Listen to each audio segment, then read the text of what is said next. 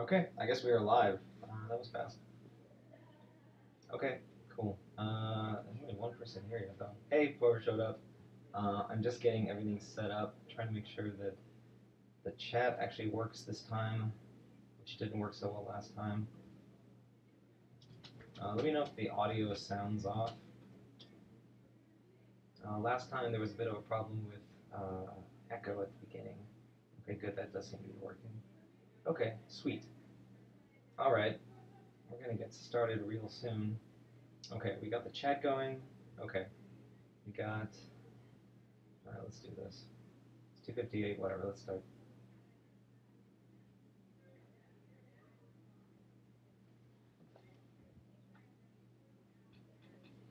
Okay, cool. Let's get started with this. Uh, actually, I'm gonna give people like two minutes to filter in because it's. I said it would start at 3 p.m. That's when I was gonna start. I was actually before this stream started. I was trying to figure out if I can, if I could actually stream music, because I would love to have you know some music in the background. Uh, Sam Saccone in his stream, he had some music in the background, some MJ, and uh, it was really nice. Um, and then, but then I kind of got a little spooked because I was looking around and I was like, well, is it actually legal? Like, I know that um, if you stream copyrighted stuff, like in the background of your music, and if the copyright holder really doesn't want that on YouTube, then they can like do a takedown notice, right? Um, so I was kind of concerned about that. So I started like googling around, and as far as I can tell, nobody knows, and it seems like it's kind of like a gray zone, and like basically everyone's just kind of looking the other way. But I'm not a big fan of gray zones, um, so I didn't want to take the risk. I'm sorry, I was gonna put on some some Steely Dan, some David Bowie, or something, but I just didn't want to take a risk. I was even looking around for trying to think of what classical music is like um, royalty free, and even like Chopin, which is like the only classical music I really really like. Even that apparently has uh, is like cr- crazy crazy royalties you gotta pay, even to play it in the background. So yeah, so it's just gonna be me talking. Sorry about that. Um, anyway, so it's 3 p.m. Let's get started. So I wanted to start off this stream. First off, um, what is the point of this stream? Oh, and uh, by the way, if you want to communicate back with me, either use this chat or use uh, the Slack channel, um, which I linked here.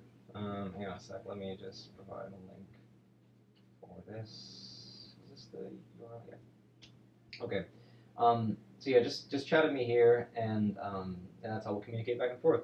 So anyway, um, so why did I start this stream? Well, I kind of started it as like a spur of the moment idea yesterday. Basically, the thought I had was, man, I have a lot of GitHub notifications to get through because I kind of been putting them off for a while. And I thought to myself, why not make it more fun? Like, why not make it a little social? You know, like open source software is fundamentally social. And so why not make it even more social by doing uh, live streaming? Because like people will watch other people play video games on live stream. People will watch people doing just about anything online. So like why not open source software? Like it's educational for people. It shows like what it's like to do open source because I think it's a it's a very different um, it, it's a very different picture at least from from what I had um, when I first got started with open source software.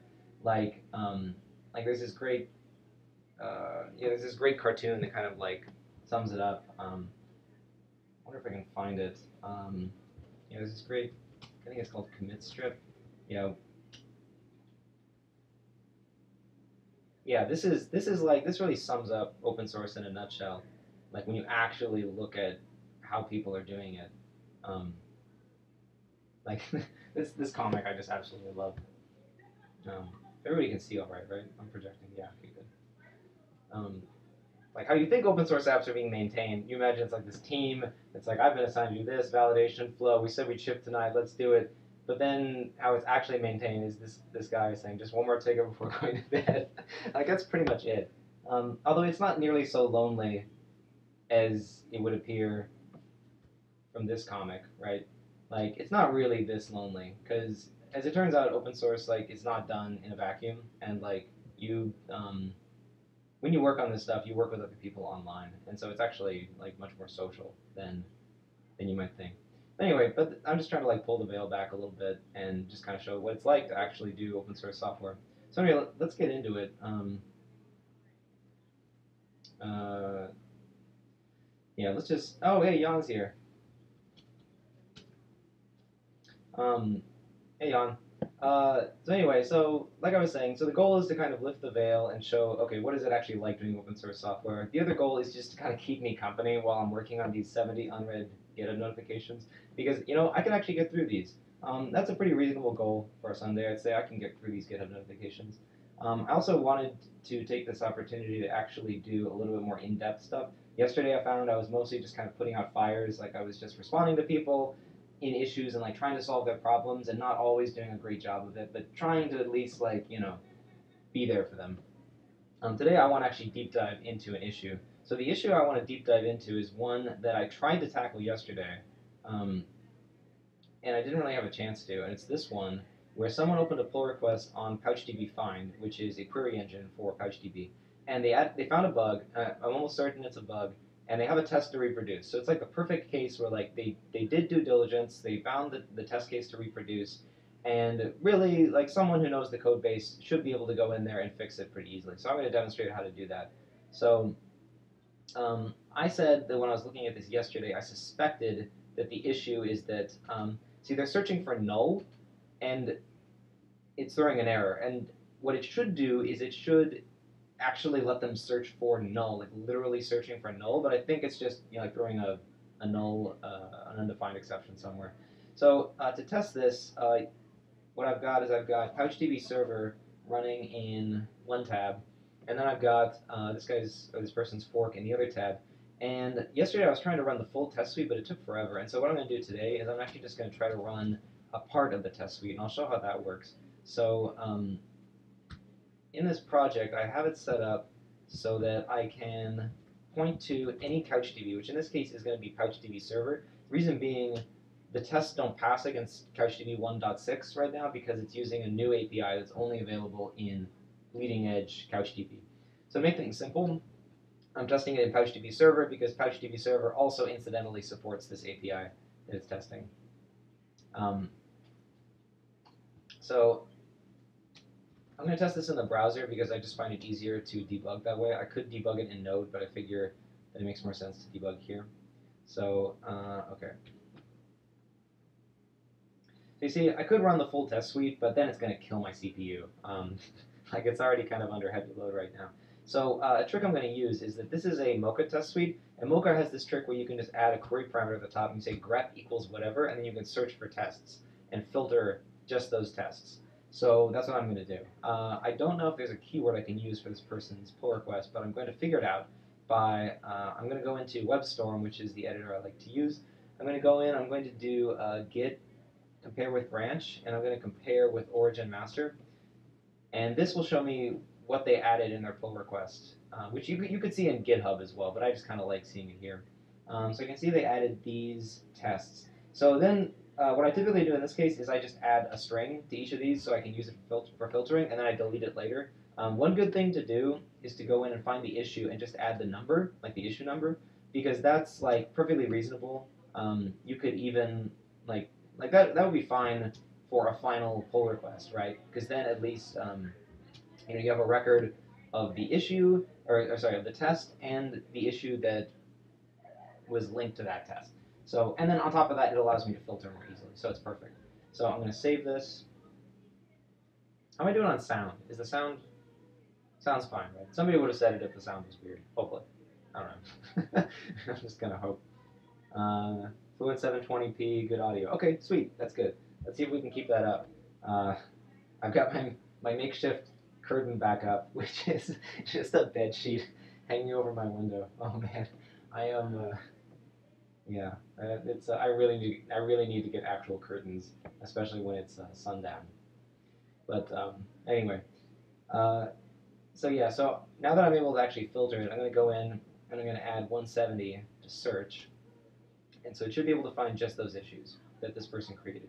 Um, and it's not. Oh, right. I'm dumb. It's supposed to be ampersand, not question mark, because I already have another query parameter in there. Okay, good. So the test is failing as it should. Um, but then the funny thing is, so, so here's the funny thing um, about this particular test, and this is why I ran this test in the way I did.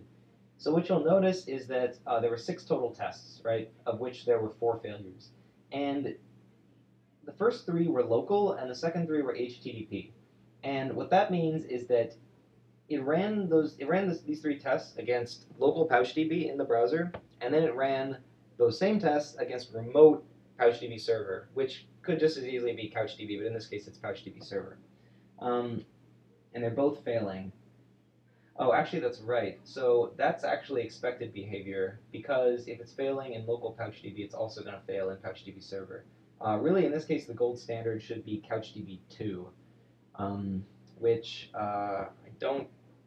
When was the last time I ran a virtual machine that had that? Shoot. Um, yeah, so actually, I need to run this against a virtual machine. Um, and, ah, shoot, what's the fastest way to get CouchDB 2 up and running? A headset. Um, yeah, that's true. If it's if it's booming, then maybe it's because I'm talking too loud. I can talk more softly. Um, I, I definitely don't have I don't have a headset, unfortunately. Sorry about that, Jan. Um, but anyway, I want to run CouchDB 2, and I want to do it the fastest way possible. Let me think. Uh, I could have sworn I had uh, I had a DigitalOcean droplet up and running, but I, I shut it down. So let me try to run it from Docker, because I know there's a Docker command to run CouchDB2. You, ha you have to you have to build it from source because it's not released yet. So uh, let's see if I can find the Docker. Because it just occurred to me I don't want to test against PouchDB server because then I'm going to be chasing my tail because I want to make sure that it's that it's working against the gold standard. Does this actually run on Mac? I don't I don't know. I actually don't recall if I even set up Docker here on this Mac. I might have to get a Linux VirtualBox. Yeah, I don't have Docker set up on this. Um, I think I have a public Linux box set up somewhere. Yeah, I'm not gonna. Okay, and there's no there's no security danger if I SSH in now because I'm not gonna show my password on the screen. Okay, so let's just do it. So I, I have I have this little Amazon EC2 instance that just has a bunch of stuff on it. Um, so let's go in here and let's go into, all right, let's go in here and let's do uh, a bunch of projects. Uh, let's make one called CouchDB and let's see that. And then let's do, let's just run that Docker command. I think I have Docker set up on this machine. Okay, well, you know what, let's just do it. You're not really doing open source unless you're installing Docker from apt-get, huh? That's like, that's the moment where you're like, wow, now I'm, I'm really, I am deeply in this world. I'm deeply in this weird, weird world of open source. I'm installing this thing called Docker. I don't, I don't even kind of know what Docker is. I have a vague understanding of what Docker is, but I'm, I'm using it now, so that's how it goes. Um, so it's set up Docker. I don't remember if I need the sudo, but I don't think I do and I'm going to set it up, okay, I can set it up on any port, but I'm going to set it up on 6984. Is that one that I'm using? I can't remember. I'll set it up, I'll set it up on 6985 just to be safe. Okay, usage docker, what? That's totally correct. What's wrong with that command? Is this a different Docker? Window this this is a different Docker. I am ah, this is not good. Alright, um well maybe I can't solve this issue right now. This is really sad. Um Oh, Jan's gonna set me up for 2.0. Hey. That's awesome, thanks. okay, so pro tip folks, if you want to easily set up CouchDB 2.0 from source, all you need to do is have Jan Lehnardt right there and ready to help you out. Um, uh, yeah, those kind of resources aren't available to everybody, but um, I'm super, uh, super honored that Jan is willing to help me out with this because, so like, CouchDB2 is not, it's not that awkward to set up. I have done it. I, I did it with like a DigitalOcean droplet. It's not too bad. Um, I think you just need to, yeah, you just need to set up a DigitalOcean droplet with Docker built in, and then you just SSH in, and you can do it all through the web GUI, in fact, and then you just run this command, and then it's running, uh, it's running CouchDB2. Ah, and so it's apt-get docker.io. Actually, let's see then. In that case, let me apt-get remove Docker because I got the wrong Docker, and then we'll yeah sure, and then we'll apt-get install docker.io. Man, naming things is such a huge problem, right? And like this, this happens all over the place. Like even even Node, there was an uh, some kind of apt repo called Node. What? Oh, maybe I have an older version of Ubuntu. Uh, is it apt-get update or upgrade? I can never remember. Update. I'll see if I can beat you to it, Jan.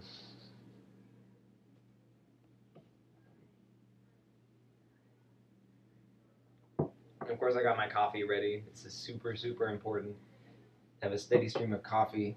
You can have that caffeine flowing through your bloodstream. Okay, so, all right. So I've got uh, I got Docker installed. All right, let's run Docker. Port 1695. No such file or directory. User bin Docker. Is this one of those things where you have to log out and log back in again, or like I just oh I haven't installed Docker yet. Um, getting ahead of myself. No, can't find Docker.io. What? Do you have to get a special? Yeah. Do you have to get a special PPA or something? I don't even know which version of Ubuntu I'm on. Um, alright, that doesn't tell you which Ubuntu it is. I can't remember how to find your Ubuntu version, but um, it's like ETC releases or something? Something like that.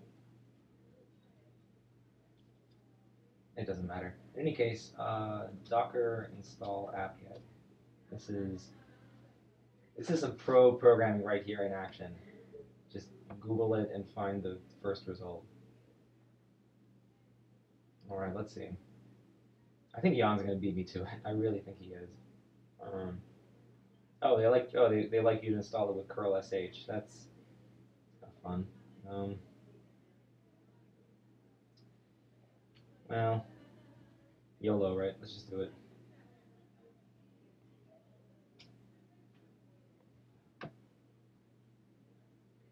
Hmm. Well, those error messages are not very friendly, but um, gonna hope that everything's cool. And of course, it is running sudo. Look at that. I just I just did sudo sh on my on my EC2 instance. We got we got some great security best practices going on in this stream. I am I, I am giving you all the hard-won knowledge of my 10 years of of software hackery. Um, yeah, luckily this is just a server I use to host like my little like my little side projects and stuff, and so it's not um, it's definitely not generating business for anyone or anything. Um, this is just where I, I host. I actually mostly host old Java projects on here. I used to be really really into into Java. I have a bunch of um, Grails projects because there was a time there was a hot moment when like it seemed like Grails, which was Groovy on Rails, was going to be this this new thing that was going to like um, be like the, the enterprisey answer to Rails, right? And then like I got really excited about it, and it, it never really took off, unfortunately. So, okay, if you would like to use Docker as a non-read user, you should not consider adding user to the Docker group, something like this. Okay, cool, I trust you. That sounds about right. Let's do it. Okay, that's fine. I don't know why I'm getting that error message, but it doesn't matter. Okay, so now after all this, I should be able to finally run Docker. So I'm running uh, CouchDB dev, port 6985. Do I just start the Docker daemon? Maybe I have to log out and log back in again. What is Jan saying?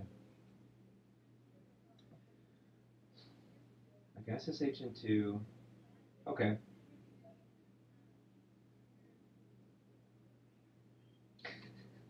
Um, let's see.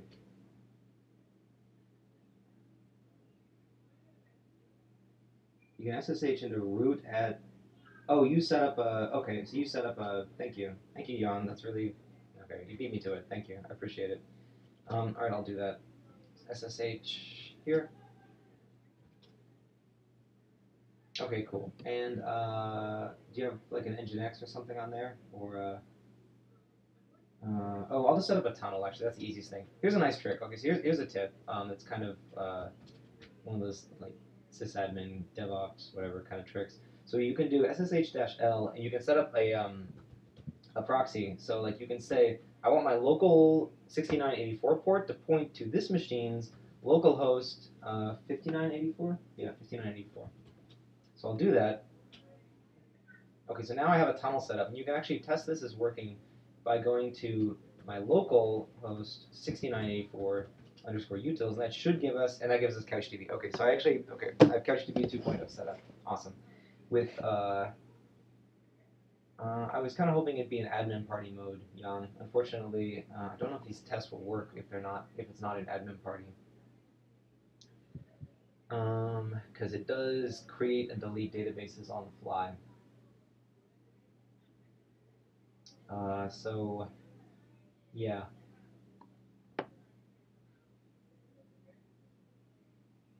Unless you want to send me, maybe you privately sent me the, the username and password. Although that, wouldn't be a good idea because I would just see it on the screen and then anyone could see it.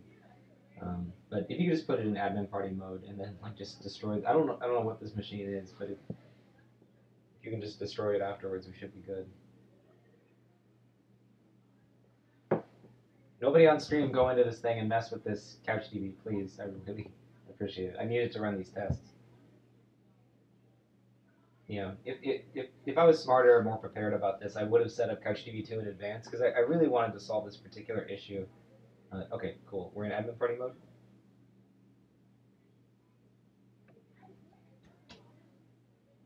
Free DigitalOcean. Okay, sweet. All right. Thank you. Um, okay, so I'm going to guess this is an admin party mode. So let's just start using it. So I can rerun these tests. Uh, the test, it's set up so it talks to, okay, it's already talking to localhost 6984. Let's rerun these tests. Okay. So now it should be talking to Jan's machine that he set up for me. Um, which all the tests are failing, so that's a bad sign. Huh. 6984 underscore utils. Hmm. Is my well, let's do a quick, uh, let's just see if CouchDB is up. Okay, it's not up. Um,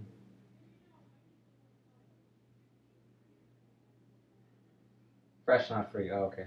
All right. Well, I'm not going to use it too much, Jan. Don't worry. It's not going to cost you a lot of money. But for some reason, okay. So it is running at localhost 15984. Okay, that's, I believe that's how I set up my tunnel with dash L. Let me double check. So dash L 6984 on this machine to localhost 5984. You know, I'll do this just in case. Okay, let's try it again.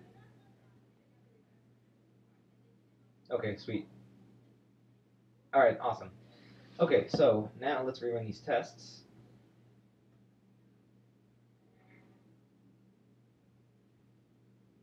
Database encountered an unknown error.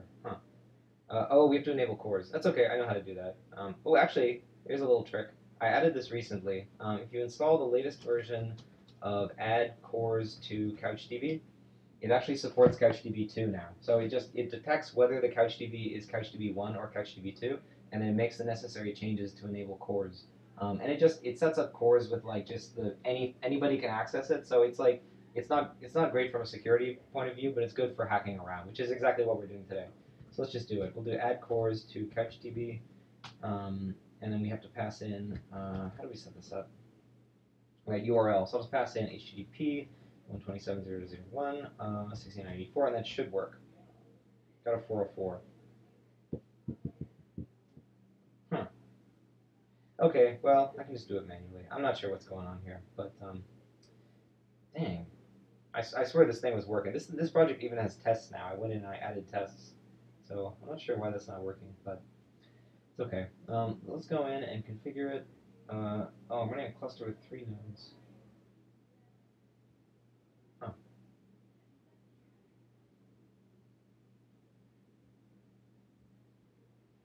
Uh, oh, maybe this is why it's not working, because it's a cluster of three nodes. I usually, oh, I think my tool might only work when it's in the admin party please mode. Yeah. Um, well, I can set, okay, I can set up a CORS proxy in front of this. That's probably the easiest thing to do.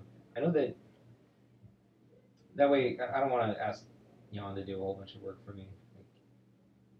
Um, if I can, I, if I can avoid bugging him too much. Underscore node, uh, like this. Oh yeah, it's like node and then like, oh yeah, you can get the list of them, right? It's like, um, hang on a sec. Uh, I actually I figured out how to do this, Jan. I did uh, in the add CORS to CouchDB project. Um, I know I did figure out how to do this. You have to check, okay, so when you're doing CouchDB2, you have to check uh, it's underscore a node, yeah, but you have to figure out what the names of the nodes are, which you get from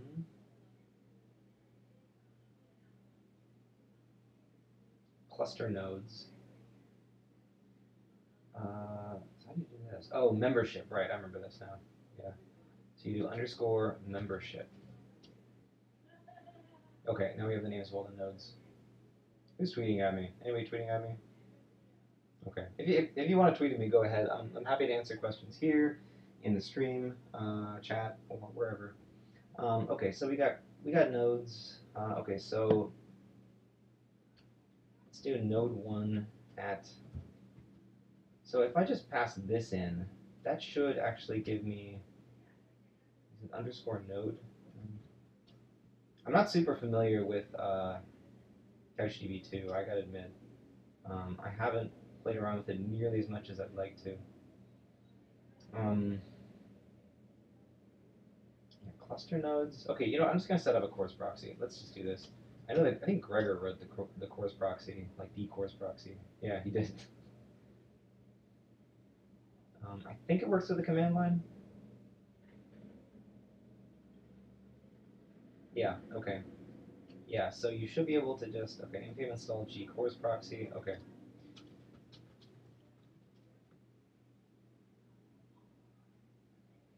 Yeah. So apparently there's a bug in add CORS to CouchDB because it should just work. Like my goal with that project was it, it, should not take a lot of effort to configure CORS in CouchDB. Actually, honestly, if it were my choice, I would say that CouchDB should just come with CORS enabled uh, by default. I know it's I know it has security implications, but I mean we already start in admin party mode. I feel like it would be you know it just helps people get started. Like people always struggle with with CORS whenever they get started with CouchDB and CouchDB. And look at me struggling with it right here. Um, anyway, so we got CORS proxy, um, and so I should be able to point it to.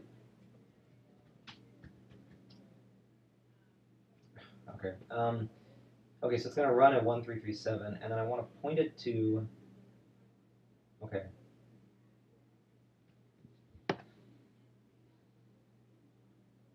How do I point it to?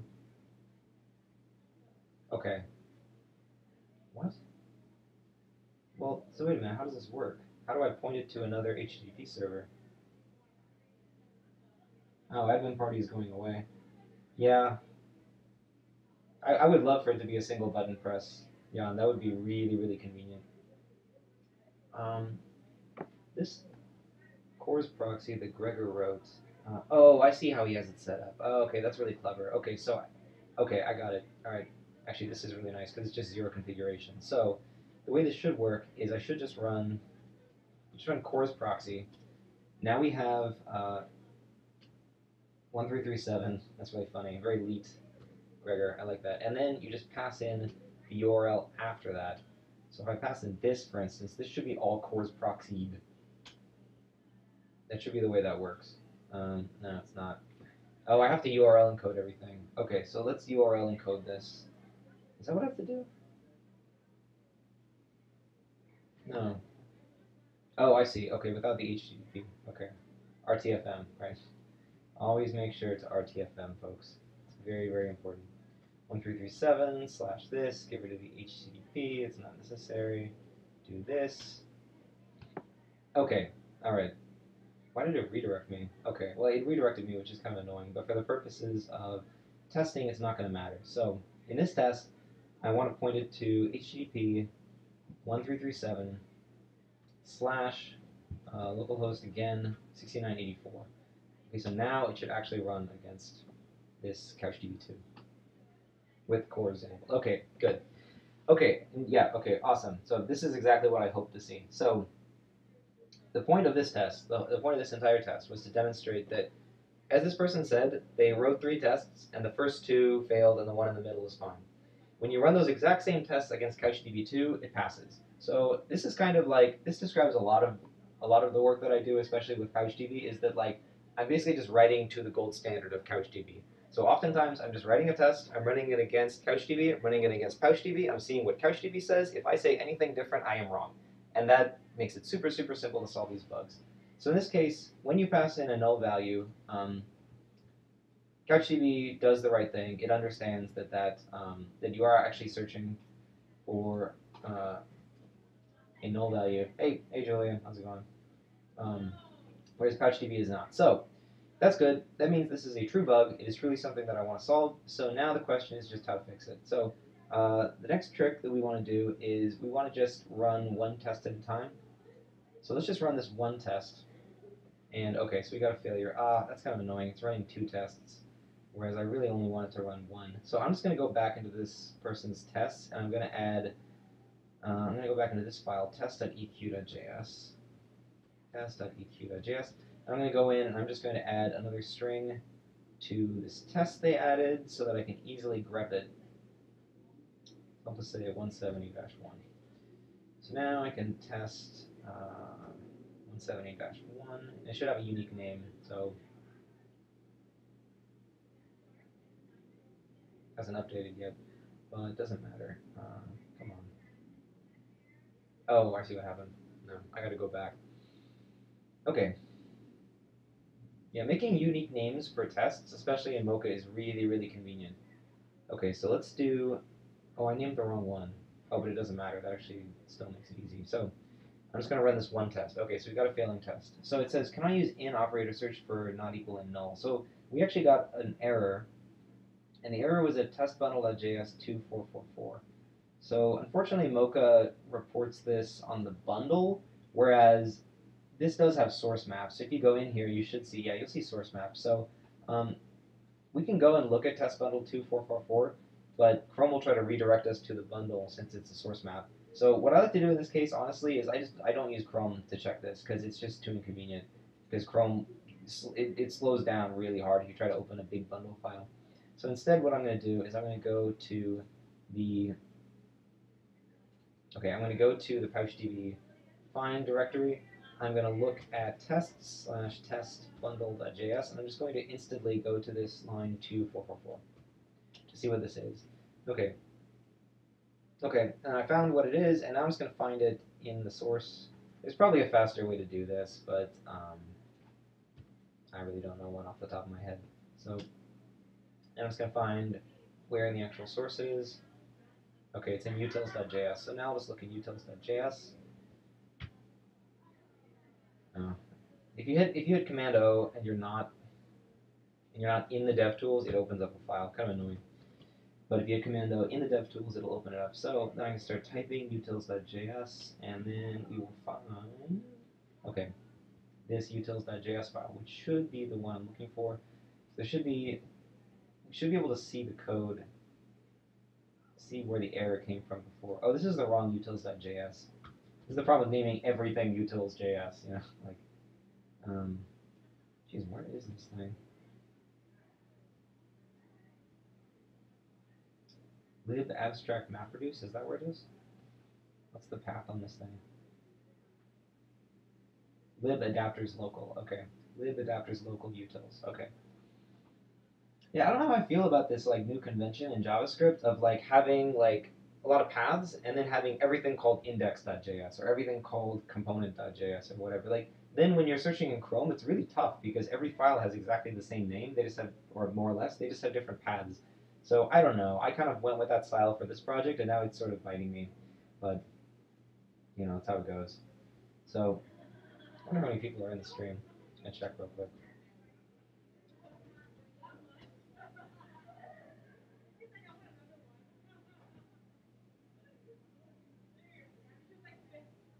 16, cool. Okay. Well, hi everybody. Um, if any of this is getting too deep in the weeds and you're you're not interested, then I, am happy. Like I'm happy to hear suggestions about like. I mean, I, am trying to deep dive into one single issue, hopefully, and, and resolve it. But I can also just kind of skim over my issues because I mean, I got 70 of these to go through, and it's gonna, it's probably gonna take uh, quite some time. So, um, yeah, okay. Jan, Jan agrees with me about unique names in JavaScript. Yeah, I think more and more I'm starting to realize it's just it's the way to go. Um, especially when you start moving to like ES6. I don't know if any any of y'all noticed this, but um, when you use ES6 modules in rollup specifically, it doesn't understand that index.js is a magical thing. Like, in fact, index.js is not a magical thing per the ES6 module spec. And so rollup implements that spec exactly as is.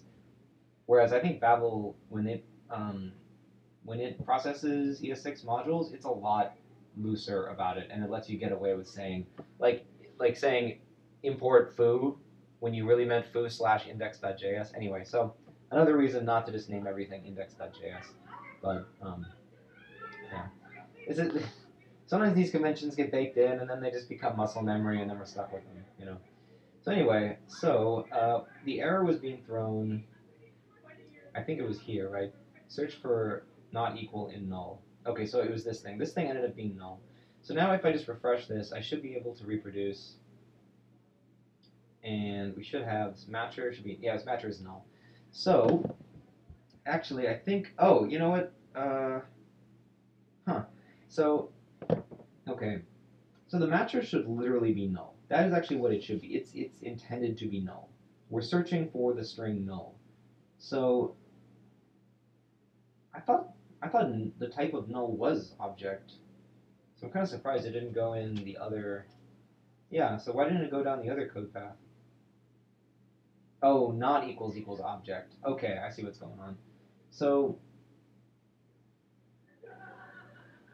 yeah, it's been a while since I've looked at this code, so it's kind of unfamiliar to me. This is basically building up a query selector for Mango, which is the new query language in CouchDB2, and also the one used in CouchDB5.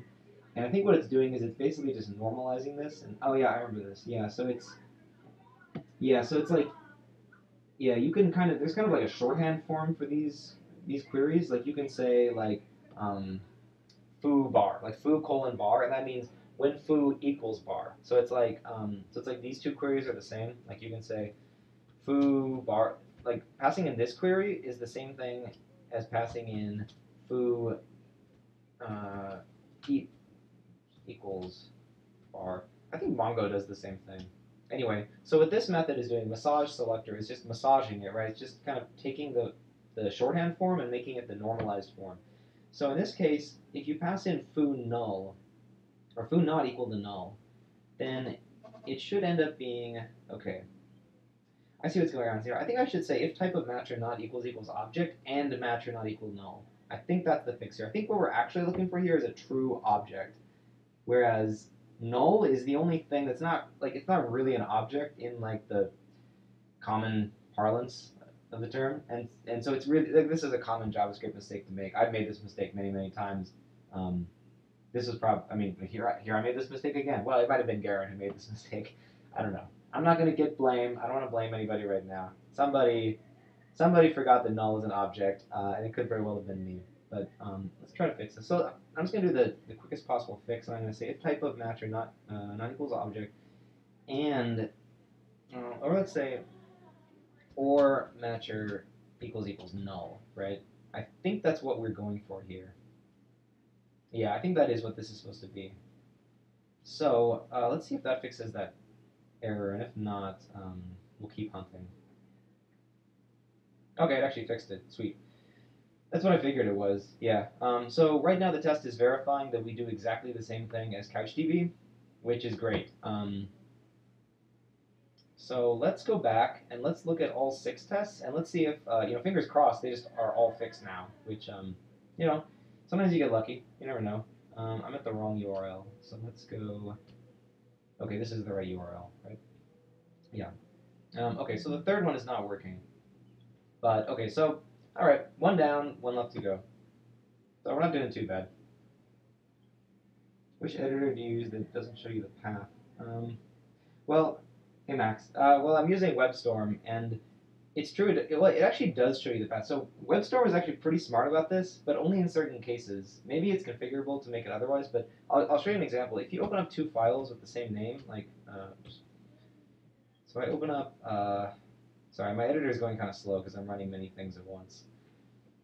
Um, just, it's kind of frozen right now, just give it a sec. So if I open up another file called utils.js, like, uh, yeah, see, notice that it actually shows like for he, like here it shows the the slash, because it knows that, that there's a lot of there's a lot of ambiguity here. Whereas for this one it doesn't because for this file there's no ambiguity. So WebStorm, like here, I'll zoom in so you, so you can see that, right? So for the one that's unambiguous, it's not showing the path. For the one that's ambiguous, it is showing the path. So it's actually pretty good about it, but regardless, when I'm in Chrome, I find I, I constantly get confused because it doesn't do that. And I'm I'm constantly debugging in Chrome, so that's really annoying, you know. So um, yeah, okay. Jan says TextMate only shows the file name in the tab. Yeah. Yeah, I mean there's no there's no one true solution to this problem, right? It's it's just kind of it's just kind of annoying. Um, Bulos. it's true. Yeah, I, I, I know Bulos. I, I really should be out in the sun instead of coding, but I have a lot of issues to get through. And you know, I did go out in the sun today. I went out for a jog this morning in Fort Greene, and it was beautiful out there. So, um, but yeah, if, if you can out there, if you can get out there and enjoy the sun, this is the first sun that New York has seen in, in quite some time. It feels like it's been a long, cold, lonely winter. Um, but uh, yeah.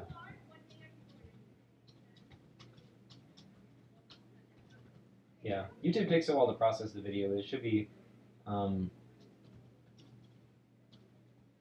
but it should be ready uh, within a day. Anyway, so let's not argue about paths, path naming in JavaScript. Let's go back and fix this bug. I actually feel like we're really close. So I fixed the first one. The second one was already fixed. And the third one is not passing. Um, so it looks like this selector didn't work. Multiple null values. Uh, oh, I think Okay, so let's go back and look at this test exactly. So, all right, here's the test. Oop, let me get rid of this because I don't need this anymore. Here's the test. Uh, does queries with multiple null values. So, oh, okay, so this is checking for uh, field 1 null and field and field 2 null. So it's working when you pass in 1. Wait, actually, what is the difference between the test that's passing and the test that's not passing? Let's see. So the test that's passing, he's doing selector field one null. Okay, that makes sense. And then for the test that's not passing, he's saying, okay, field one null, field two null. Okay, that makes sense. So the way that um, the way that Mango's queries work is that um, when you when you uh, when you do a selector on two fields like this, yeah, when you do a selector on two fields like this, and you have an index on what did you what did this what is the index on? And the index is only on one. Yeah. So we're searching on two fields. There's only an index on one field. So what it actually does under the hood is it does an on-disk query for the first field, and then the second field it filters in memory. So this is kind of like what um, like like try to imagine what uh, like SQL would do if you said like um, select star where foo equals whatever and bar equals whatever, and there's only an index on foo, then it'll still look up bar for you, but it'll do it in memory. That's what this is doing. So probably the issue here is that we have different logic for the in-memory selector than the on-disk selector. And I believe I can find that right here, in-memory filter. So undoubtedly this in-memory filter is just not checking null versus undefined or something. Um, it's almost undoubtedly that's the case. So yeah, so I think I can just set a breakpoint here, and I can probably figure it out. So let's go in, and I'm just going to run this one test, just the test that's failing. What? I mean util is not defined. How did I break that? Did I did I type something? Oh, I must have. No, I was probably trying to open something, and then my editor like froze, and yeah, that looks like I typed in something. Thank you, WebStorm. I still like WebStorm. I'm not gonna talk. I'm not gonna talk smack about WebStorm. It's one of my favorite. It's one of my favorites. Okay, so while we wait for Watchify to fix that. Okay, so Watchify has fixed that. Um, okay, cool. So, all right, so we got an, uh, a failing test. Good. I was going to set a breakpoint on the file in-memory filter, right? Let's go to in-memory filter, and let's set a breakpoint. I think this is the area, if I remember correctly, where it checks for a bunch of types I think I want to check for case null. So let's look for case null, and I think I think this is where I want to go. Let's just let's see what happens. It should pass this to the oh oh we didn't even go into the in-memory filter. Okay, that's uh, that's a bad sign. So why would that happen? Well, let's see. let's see how this filter in memory fields gets used.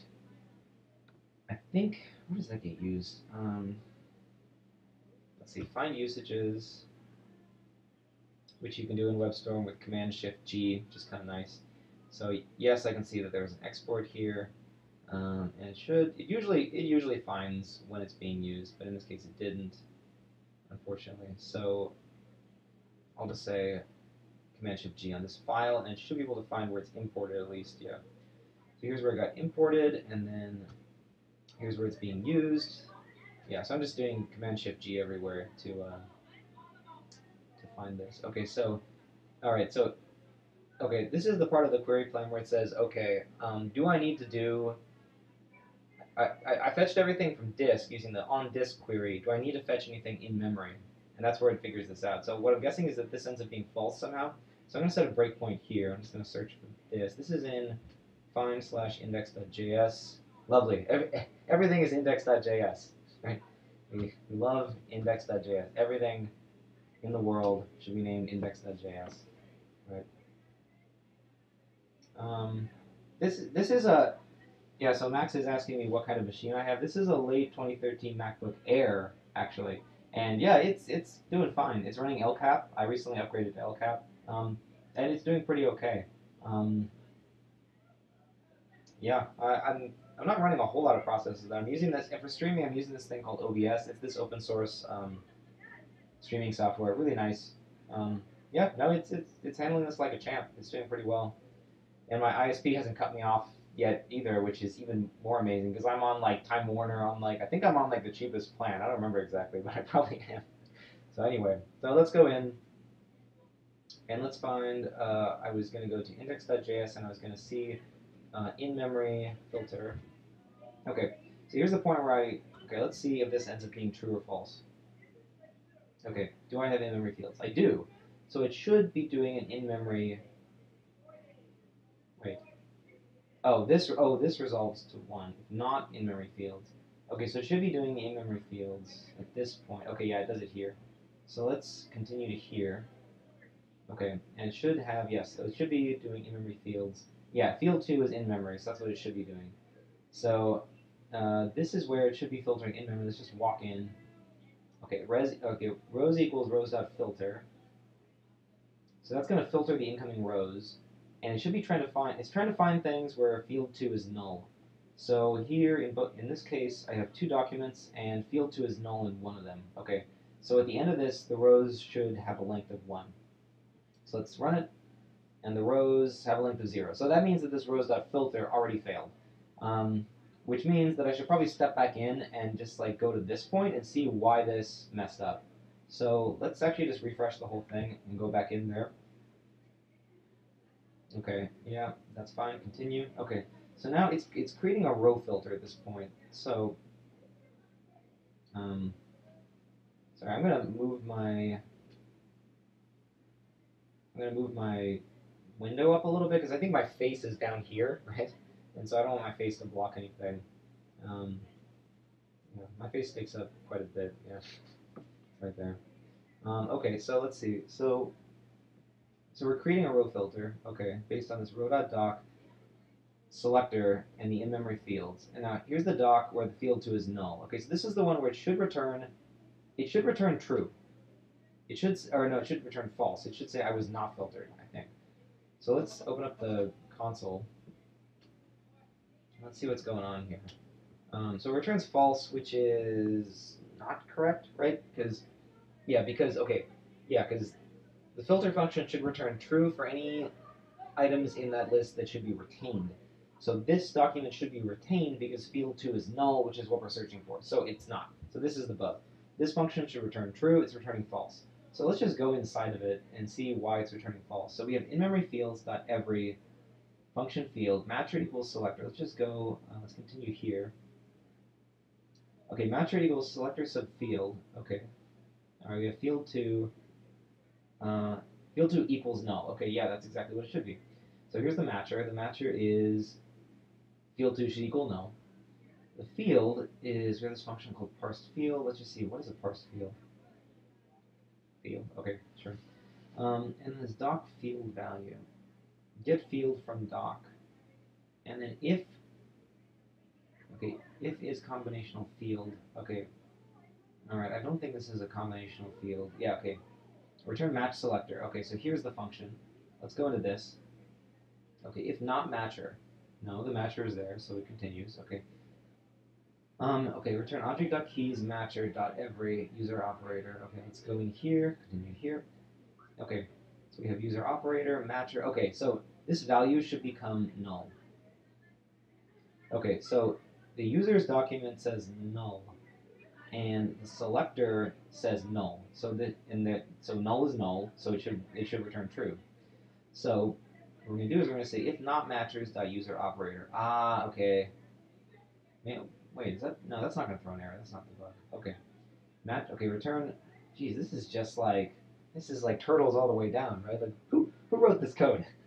what were they thinking? This is so confusing. Um, okay.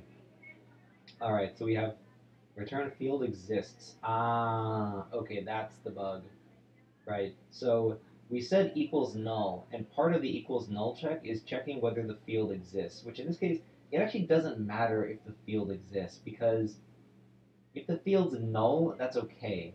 What we really want to check is if the field is undefined as opposed to null. Yeah, that's right. Um, so the problem with this bug is that this kind of signals to me that this whole field exists function is based on a lie. Like it's, it's wrong. And so I, what I kind of want to do is I kind of want to change it everywhere. Like I want to just go into field exists and change it so that it doesn't return false for null. But then I feel like I should probably go back and fix all the other tests for all these other things because they're all using field exists. Um,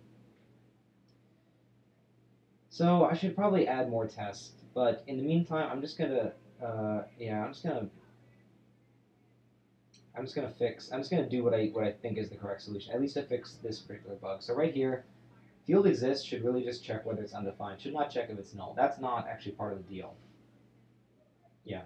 So let's go in, and that is in in-memory filter.js. Um, okay. And, okay, so it's called field exists. Okay, so this function should just return if it's not undefined. Okay, so now let's see. And see, and see already I can see that I'm introducing bugs in other areas like um, this thing, I think this other function really does need to know whether it's null or not. Because I think if you do null instance of array, it actually just throws an error.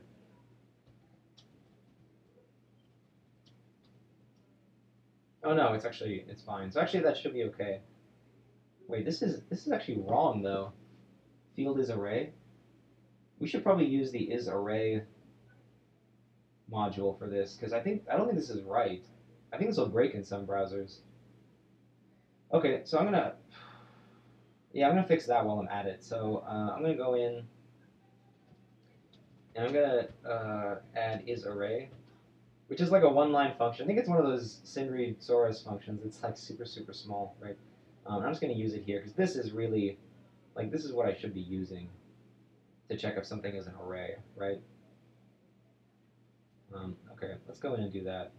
So field is array. Instead of that, let's use is array. Because I think it's more subtle than that. Um, it depends on the browser. Okay, so var is array equals require is array. Should be saved now. Okay.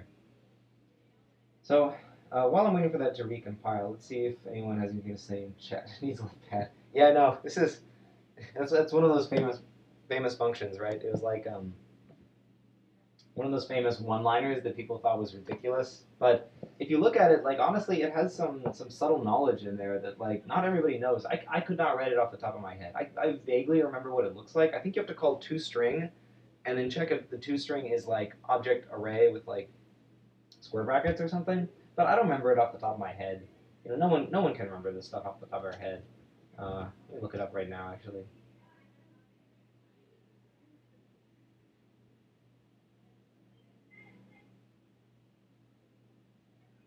What? Why do why would I need authorization to go to npm? That was weird. Hmm. Um, anyway, let's look at the code for isArray. Yeah, see, there, there's no way I would remember, I would know this by heart. Like, look at that. Yeah. So, alright, I'm glad to outsource that knowledge to someone else, you know? Alright, so let's go back to this. Okay, so now the tricky part.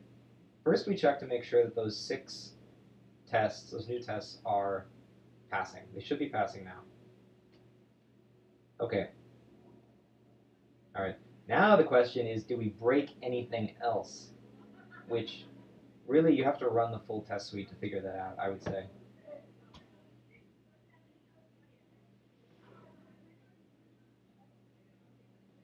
Yeah, I would say that's the next test because, um, you know, maybe me subbing in is array uh, broke something else, or maybe that.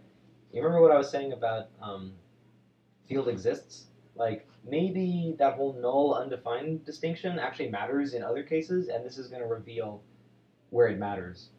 But we're going to find out very soon. So yeah, see, look, there are failures. So it's already failing. Okay, so okay, field is array is not. Oh, okay. I probably had multiple usages of it that I didn't catch. So this is my bad. So let's look for field is array. Yeah, okay. I made a mistake. So that should just be is array. So okay. Am I using this anywhere else? No. Okay, so let's go back and just rerun the whole test suite. Um, and it should be enough to run half the test suite. We don't actually have to wait for the other half because I only changed the local stuff. Like I didn't change any of the way that it, inter it interacts with CouchDB. So the first half of the test suite is all local, it's all CouchDB, and the second half of the test suite is CouchDB. So I'm just going to wait for the first 50% to complete, especially because the second 50% is going to be the slowest because it's just slower to access a remote server somewhere than to use like the, the built-in storage in the browser, right? Doesn't matter how fast your connection is, it's just going to be faster. So let's run the first 50%. Um, let's check chat to see if I'm missing anybody. Nope, okay. Um,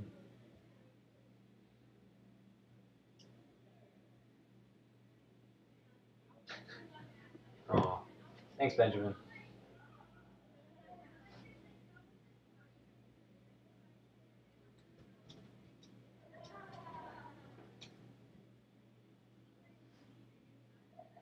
Okay, so let's keep going. So I'm going to just make sure that all the tests are passing, and then, okay, so it looks like they're all going to pass.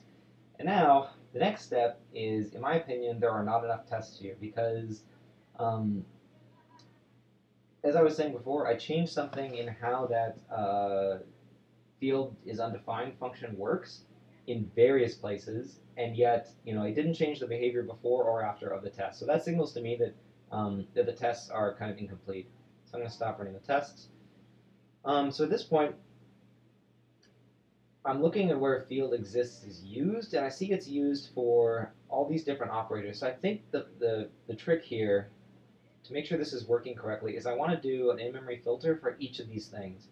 So I need to do it for regex, nin, in, not equal, and mod. Um, and I suspect, oh man, this is actually this would actually take quite a few tests, I would say, to get this right. This is going to be kind of tricky. So, um, uh, should I do this on stream or should I go through my other issues? What do y'all think? I'm going to try to do it on stream. Let's just add a bunch of tests. So, what I typically do in these cases is I just copy paste the existing tests and I just add more. So, I want to test uh, I want to test field 2. Uh, let's do greater than equal to null as well. So all I did was I changed field 2 equals null to field 2 greater than or equal to null, which is the same test. So this test should give exactly the same exactly the same result. So I'm going to search for, uh, okay, I'm going to grep for 170, so I can just do all these tests. And if it gives, okay, wait, what happened? Oh, that, that actually might be a spurious failure. That's probably because I was it was deleting the database when I refreshed. Um, oh, and also I messed up again. That should be an ampersand, not a question mark. Okay. Oh, well, actually it failed in both, which is weird. But, well, I guess I'm giving the same result as CouchDB, so I suppose that's correct. But that feels wrong to me. Like this, um, yeah, field 2 is greater than or equal to null, right? How, like here we have field 2 null, here we have field 2 greater, did I get the order mixed up? Is it greater than or equal, no. No, that should be. Wait, that's weird. Did I just find a bug in CouchDB? I feel like that's a bug. No, it's not telling me whether it's a bug or not. It feels kind of like a bug.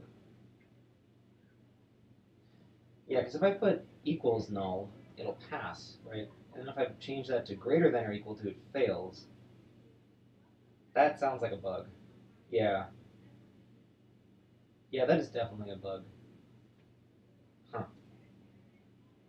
Okay, well that's unfortunate because that means that I need to file this bug on CouchDB itself. Um, either that or I'm just like not thinking right. Huh. That is really weird. What if I do less than or equal to? What happens then?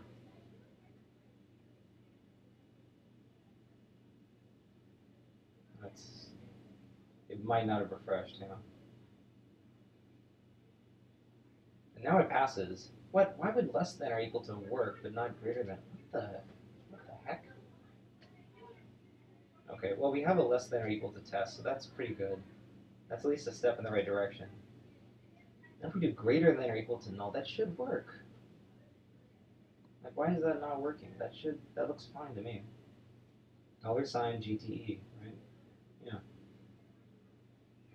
Anybody caught my bug? Aren't, aren't you all paying attention? Catch my bugs for me. Okay. Well, for some reason it's failing. Um, I think I'm just going to mark this as a skip and say uh, to do investigate later. This fails in both couch and pouch, but I believe it shouldn't. Um, maybe greater than or equal to has a special meaning that less than or equal to does not. Well, let's go back. I want to do my due diligence and try to add enough tests. So there's an exist test which does not use the field exists. It's kind of funky. But equals, we already have a test for that. Uh, do we have a test for not equals? Yeah, I think I think this this person who opened this pull request already added a not equals test. Yeah, uh, equals null. Did they add a not equal null? No. Okay, so let's add a not equal to null test. So let's add a not equal test. We won't skip it. In this case, if we say not equal to null, then it should give us, it should still give us one result, but the document should be document 3, I think. Field 1 null, field 2 not null, so it should be 2 actually. Okay, so let's test this.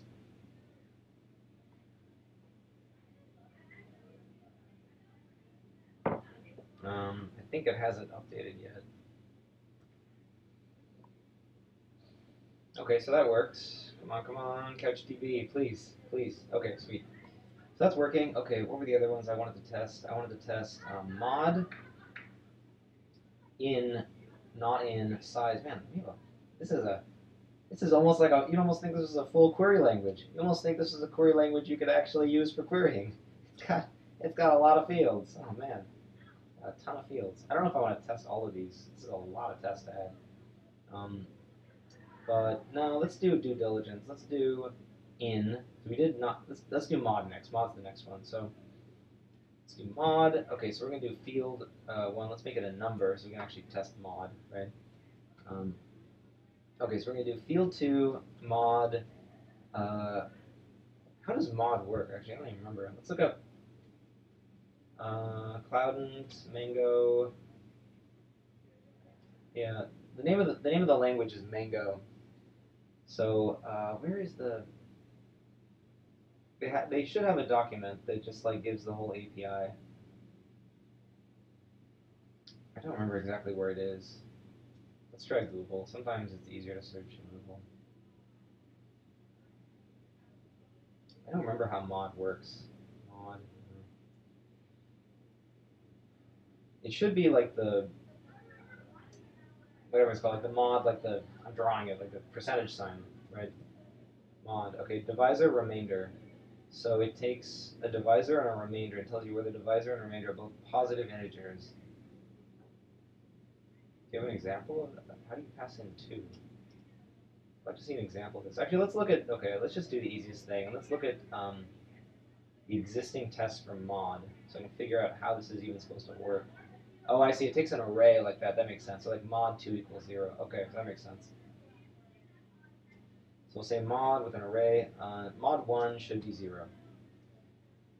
Okay, let's see. So this should come up with, it should give us this one. Okay. So it should give us document with the ID 2. So let's test that. And that passed. Okay, good. Okay, cool. And okay, so let's add some more tests. Uh, I, had a few, I had a few more I wanted to test, right? Mod in, not in. I'm kind of getting ahead of myself though. I feel like I, I've sufficiently tested this.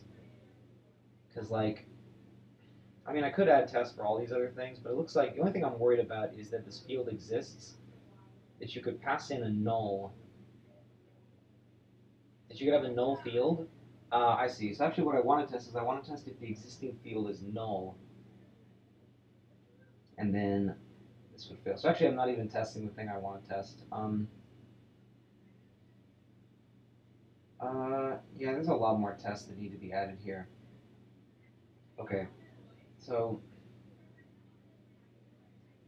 all right, let me just kind of visually inspect this and see if I think it'll work. So if I, if I make this null, I'm going to do array contains value.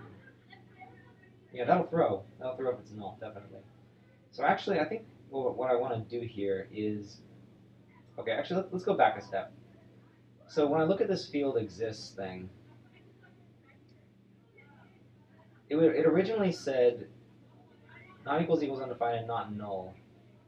But for equals, we can check whether something is null. So let's let's just make a different function. Let's call it field is not undefined. Which George Orwell would have a conniption fit about saying not undefined, right? He wrote this whole essay about the politics of the English language, and he said it, it's a horrible practice to say like not un something, right? But but if I said field is defined, that just sounds weird, right? So um, so I'm gonna, I'm gonna, I'm just gonna spit in George Orwell's face. That's what I do every day when I'm writing JavaScript.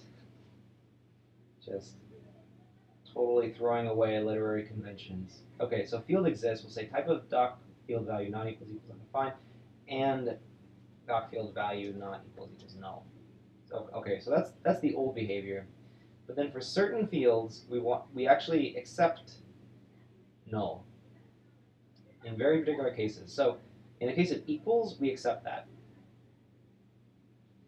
In the case of greater than or equal to, all of these, it should be exactly the same. We should accept that. Um, for these other ones, for mod, okay, for mod, okay, mod is a number, so it definitely has to be undefined or null, or not undefined and not null, because it should be a number. In is actually the same thing, because it needs to be an array. Not in is the same thing, it needs to be an array. Size is the same thing because it needs to be an array. Regex should be a string. All should be an array. Type is also a string. No. What is type? It's like type of, right? Yeah, it's also also a string. So okay. So yeah, so we should only really modify that one thing. So I'm just gonna add one test to make sure that this does the correct thing, which I'm gonna the way I'm gonna test this, I'm just gonna test this in the case of mod. So I'm just gonna make sure that if Okay, so I'm just going to make sure that if everything's null, let's just make everything null, okay? No numbers anywhere to be seen.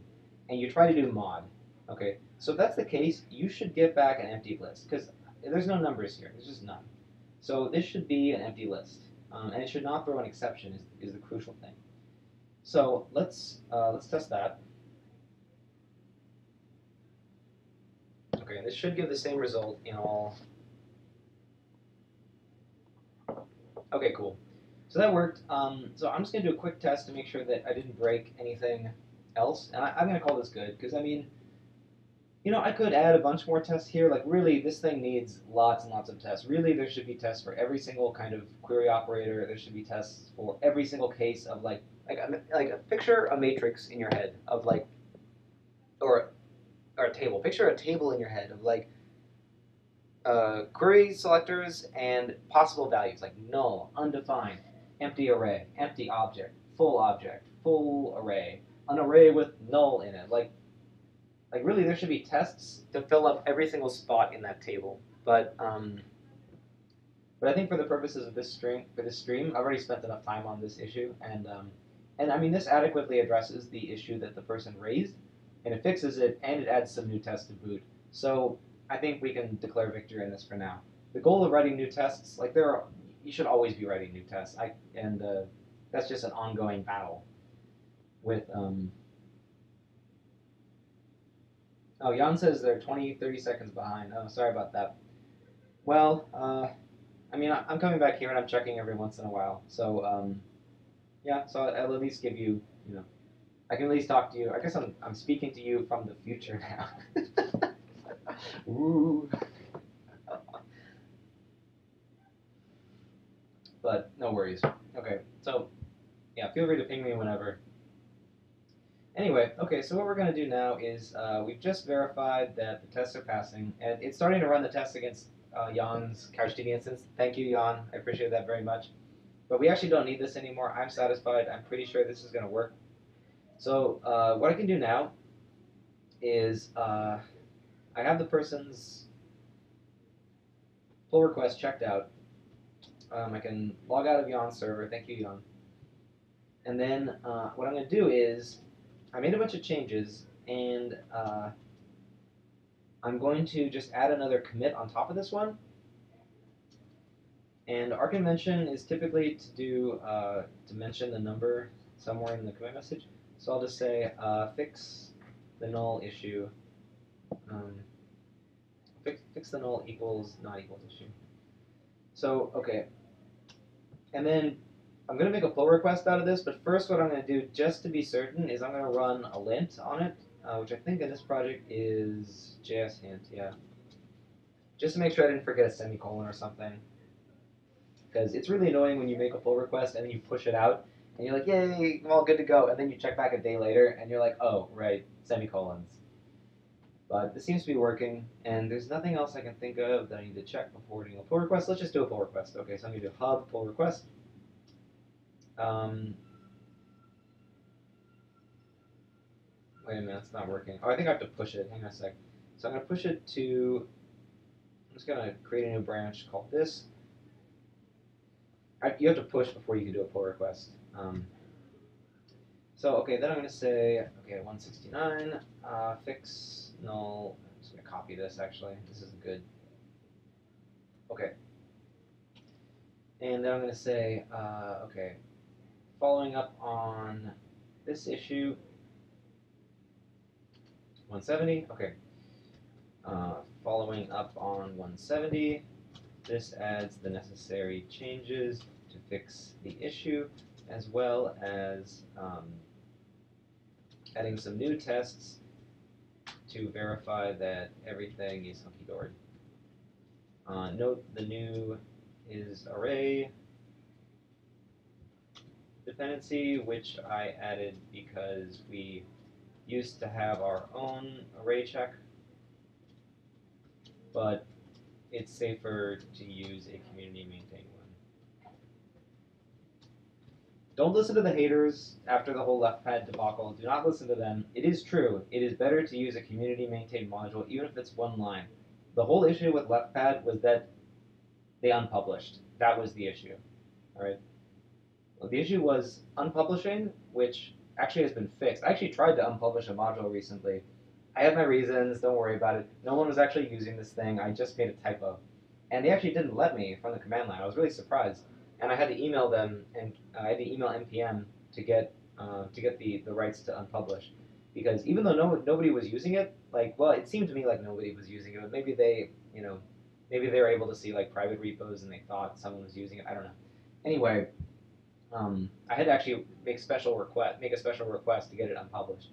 So npm has changed their policy on this, which is good. Um, but yeah, the issue was unpublishing, and also the I mean the other issue is like trusting people. Like, you know, use modules from people you trust. And like in the case of isArray, like it's not so much even that I necessarily super duper trust whoever wrote it because I actually don't know who wrote it. But it's more like I know that isArray is used by tons and tons and tons of modules. So if it breaks, I mean, I'm gonna hear about it on the evening news. You know, I'm not gonna hear about it because my service went down and my service was the canary in the coal mine. You know, look, 200,000 downloads each month. Like, you know, like if this gets unpublished or if the person who's maintaining it, you know, introduces spyware or whatever into it, like, like we're all gonna find out together. You know, this is how open source works. You have to trust people at the end of the day. Like, it's about people. You have to trust people. Like, most humans are basically good, in my experience. So, um, you should trust them. So, open the pull request. Um, I'm just gonna take a look at what it looks like. Hub has this thing called Hub Browse, which is really nice. Um, because it just opens it up. And I thought it opened with the pull request. That's okay. It doesn't. But let's look at this pull request. So, yep, I just wanted to make sure it opens okay. So the important thing about opening the pull request is now it's going to run the tests. And I already have the tests set up to actually like run CouchDB, test against CouchDB, test against various browsers. So it's doing that right now, and I can just kind of wait. And so uh, I'll check back in with that later, but it looks like I actually fixed it, which um, I'm pretty happy about. This is probably the first commit I've made to PouchDB Find in months. So, uh, yeah, I sh- it, it, it's good that I'm streaming because this is giving me motivation to actually go in and, and do more work on this stuff. Um, so I'm enjoying this. Yeah. Okay, so let's keep trucking through. So, uh, I'm just going to quickly look at a bunch of closed issues because I just want to quickly review them and make sure that everything is copacetic. Um, it looks like Dale already handled most of these. Yeah, uh, okay. Yep, that sounds reasonable. Okay. Um, yep, okay. This person closed their own issue, so I'm going to assume that they fixed their problem. So, um,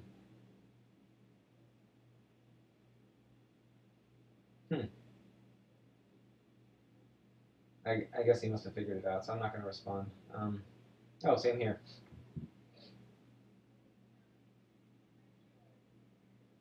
Okay, reading more carefully, I found this. Okay, and that's perfectly fine. If you make an issue and then it's a question and you figure it out on your own, then yeah, just close it. That's fine. I can just glance at this and it doesn't take up too much time. It's fine. Um, looks like Dale already merged this. Dale merged that. Um, that was a doc change. Looks like it got merged. Cool. That was the same thing. That was the issue I was looking at before. Okay, so let's just keep looking for more issues.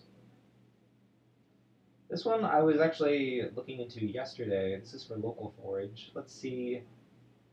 I'm curious. I, I, I ended up closing it because I thought maybe like maybe there's no point in adding built-in support for the SQLite plugin to localForage. But I wanted to get uh, Theodorus's feedback on this. Maybe he maybe he does think it would be a good feature. We'll find out. We'll see.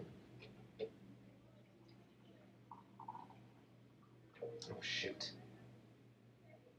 Yeah, I I broke my coffee pot a while ago, and so the spout is all messed up now. So unfortunately, it tends to to drip when it pours. It's too bad, but it's okay. Just a minor spill. The hazards of doing programming, right? I mean, my my life is so hard. Gotta deal with spilled coffee all the time. Don't try this at home, kids.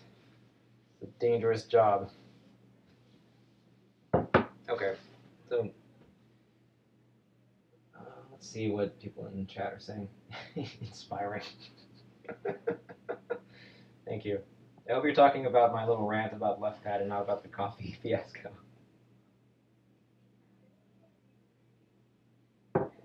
Hmm. Uh, yeah.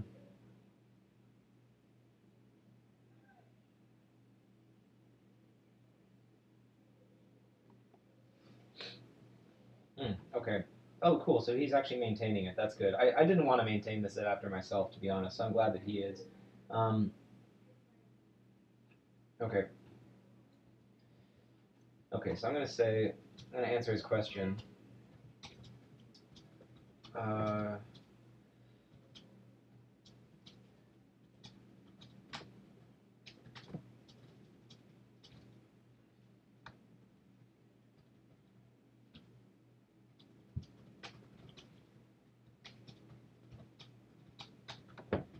Yeah.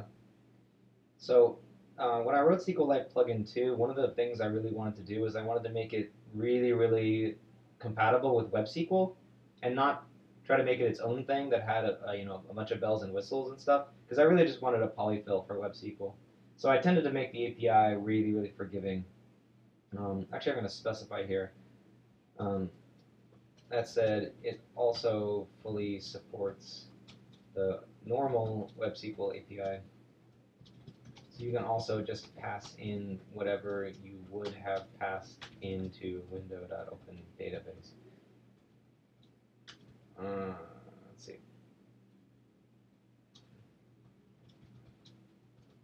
Unfortunately, I can't say the same for SQLite plugin 1. Um, actually, I'm not going to say that. I don't like to make value judgments about other people's software if I can avoid it. Like, if you're gonna if you're gonna fork a project, like don't don't talk smack about the original project, or at least like try to keep the smack talk to a minimum. Like, yes, you need to like go out there and kind of market and promote your thing, and yes, you're going out there and you're implicitly saying my thing is better, use my thing, but there are ways to be classy about it. Like, um, um, yeah. So not the I'm just gonna say not the case with SQLite plugin one. You have to specify location as of the uh, most recent version. Yeah, so I'm just gonna be neutral about it. Like there are good examples of people forking something and being really like diplomatic and classy about it. Like uh, Rich Harris wrote this thing recently. I thought was really cool. It was a great name. Um, Buble. Yeah. Which is uh, basically his fork of Babel. Like he just kind of he just kind of rewrote Babel from scratch essentially, and his idea was to like make a version of Babel that's like um, no configuration, just does ES 2015, and um, like is very very opinionated and doesn't have a lot of configuration, and is also faster than Babel supposedly. Um, but I mean, in his in his guide and his like uh, in his explanation for this project, he doesn't talk smack against, against Babel. He says things like like okay, like as the name suggests, Buble is heavily inspired by and indebted to Babel. That's beautiful. Like that's a beautiful thing. You know, like instead of like um, yeah, instead of like talking a bunch of crap about someone else's module, you know, you just say like it's inspired by it, you know, um, but it differs from it in these and these ways. He says it's much faster as well. I'd like to see a um, a benchmark though. To be fair, if you're gonna if you're gonna make claims like that, you should back it up, Rich. I'm gonna bug him next time I see him in Brooklyn JS. But overall, this is a very kind of classy fork, I think. And everyone should aspire to be as diplomatic as possible in open source. Um, like, we're not trying to claw our way over everybody else to get to the top, you know? It's not a race. Okay, so let's see. Uh, okay, so Dale merged my pull request from yesterday. Cool. Um, oh, shoot.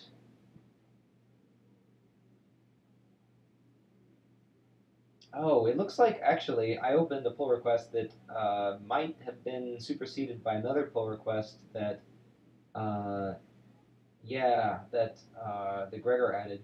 I didn't even notice this pull request. That was a mistake. So I guess, um, but I think my pull request, I so he deleted the branch. Oh, because Dale merged it. How did he merge it? Because like, I think it. I already made that change. If Dale merged my other pull request, what what happened here? Let's look at the commit history. Yeah, see, he merged it, and it just ended up being an empty commit, so I guess that's okay. Sorry, Gregor, I, I didn't notice your pull request. But for what it's worth, my pull request um, added more ESLint rules because we weren't just missing the semicolons thing, we were missing lots of things. Like, we were supposed to check for curly braces after if statements, um, spaces after unary operators, so I fixed all those things too. Um, yeah, I also like went through the code and actually fixed it, which is kind of nice. Anyway, okay, so let's go back through notifications. I'm at 61 now. I started at 70 at the start of the stream. Oh, 59. Okay, good. Um, let's see if anyone has any comments about. If anyone's interested in like, um, yeah, if anyone's interested in like, hey, I opened this issue against you like three months ago and you didn't really respond to it, like now now is the time. Like, feel free to go into the chat and say, hey, Nolan, can you take a look at this? You know, I'd be happy to. Um, uh, yeah, so I'm just going to make that point in the chat real quick. Hmm, for some reason I, oh, there we go.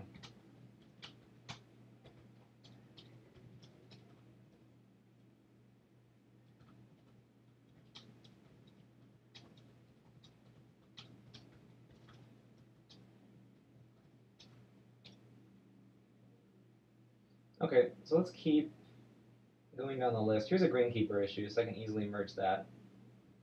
Assuming it actually passed. Okay, it did. Cool. And I got the Greenkeeper verified, which, thank you, Gregor. Now I know actually means that Greenkeeper did open this request, so I don't even need to look at it, but I will look at it just to be safe. And yeah, it looks cool. Okay, so we're gonna merge this. All right. Oh, thanks, Charlotte. I think Charlotte, you can merge this if you want. Like, um, like if it's if it looks good to you and if it's green, then uh, go ahead and merge it. Um, I'm just gonna make it match our commit message style, and then we're done. Okay, cool. Uh, next up, what do we got? Oh, this was uh, Mike Hartington added this. Okay. I don't know if he's he's online right now. I think he said he was going to check on my stream. I'm not sure if he's out there. Um, you are, hi. Um, let's see. I'm going to look at some more closed issues because I can just usually quickly glance over this. Usually Dale has a good reason when he closes these issues, and so I can typically just kind of trust him. Fix documentation now. Okay, so this fixes the docs. Okay, looks like it was We'll close this.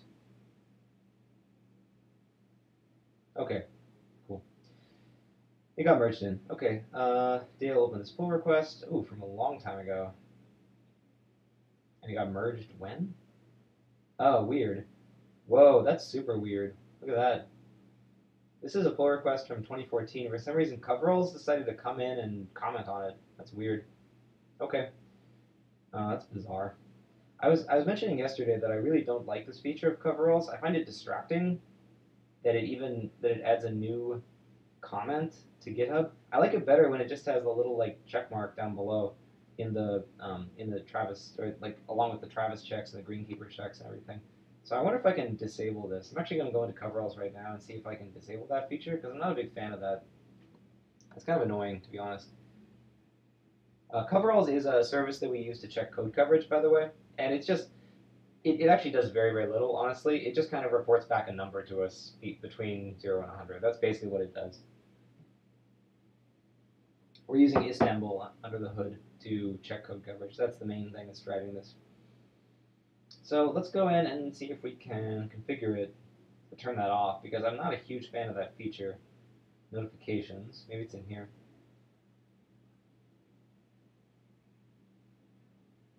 Hmm. Dang, maybe it's not an option that you can configure. Hmm. They added that feature just recently, and I, am really not a big fan, to be honest. Yeah, I'm not seeing where I can actually configure this. Oh, leave comments. No, no thank you. Awesome. Okay, cool. Alright, so that's fixed. Good. Uh, I'm gonna make a note of it in Slack just because when you change something like that, it's probably good to let everyone else know what's going on.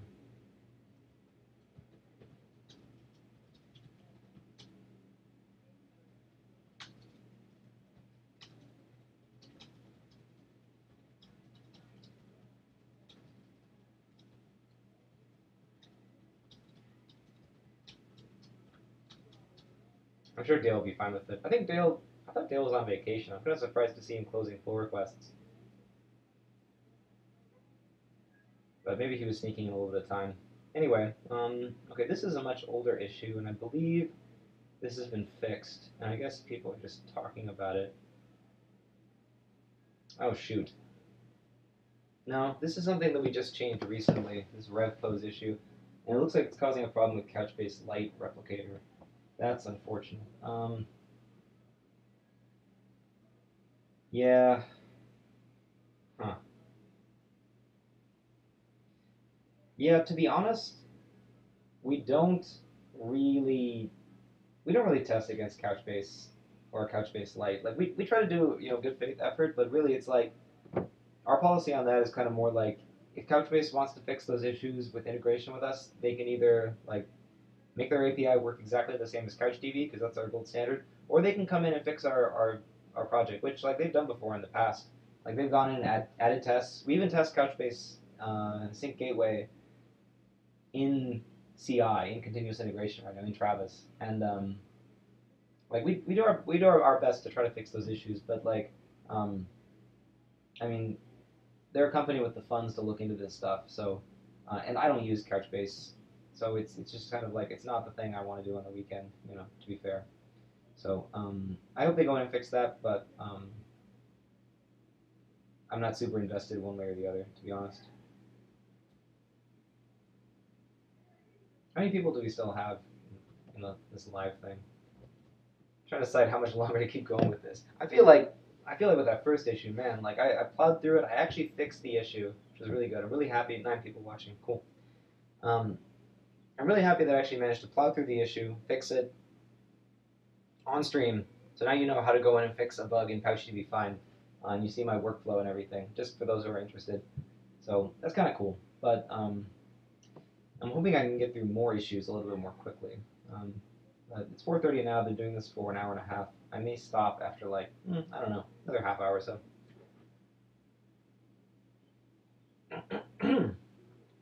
I think this issue already got fixed in another pull request. Yeah. okay, in this issue, I talked about this yesterday. This is that e-tag issue in Safari um, developer or Safari technology preview. which um, I found the bugs on WebKit and on CouchDB, and both of them fixed it. So um, hopefully this will never actually show up in the real world because uh, it only existed in WebKit nightly, and now it should not exist in Safari when they release. So really important to go in there and actually test um, test the bleeding edge of browsers. Like I've definitely I found bugs in um, in like Chrome Chrome Canary, and in Firefox Developer Edition. No, actually, I've never found, I've never found a bug in Firefox. I'm still waiting for the day. Someday I will find a bug in Firefox, but it's so hard because they're so good. They're just, they're always on top of things. It's really frustrating for me. I just can't seem to find a bug in Firefox ever. But I definitely have found issues in Chrome Canary, and it's good to, to like be aware of it before it goes live, you know. So anyway, that's fixed. Uh, this, I believe, was the same issue. Yes, this is the same issue. Okay. Yeah, this is a related issue. Um, yeah. We're still doing cache, uh, we're still doing user agent sniffing to try to detect whether the browser is going to aggressively cache or not. Um, which I don't think we should do. I think we should just do one thing for all the browsers, but it's an open issue. And I think I, I think I opened a separate issue about it, so I'm going to deal with that later. Documentation change. That was fixed. That was a documentation change. Okay, cool. So that that really feels like progress. Now we're down to 47 issues. Um, see the buffer project. I'm always keeping an eye on the buffer project because I'm just kind of interested in what's going on in there. This is uh, this is the implementation of Buffer that like Browserify and Webpack use in the browser. Um, wasn't this an issue? This was an issue that um, that uh, Feross Aboukhadijeh, I think he was the one who actually found this issue, right? This is the issue about yeah, about how Buffer has this unsafe behavior. Yeah, it's kind of funny. So given that he filed this, you'd think he would have already fixed it in buffer. So my guess is that it must already be fixed.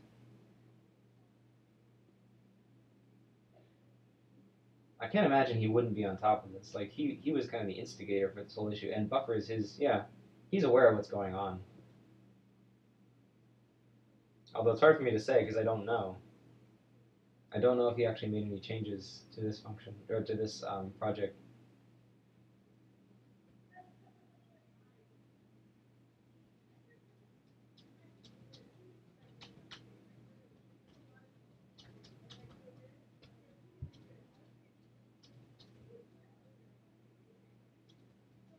Um, I wonder if I can answer this person's question. I wonder how I, I can even tell.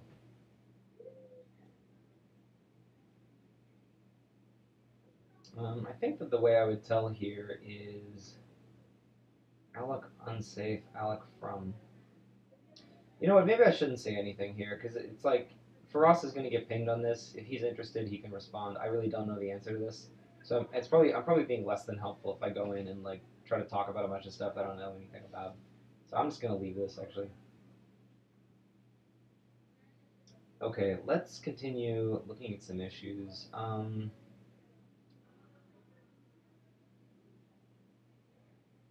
I wanted to get into local npm at some point, but I, I feel like I need a lot more time to do that. So I'm not sure if I want to do that on stream. Closing much of issues. Uh, let's see.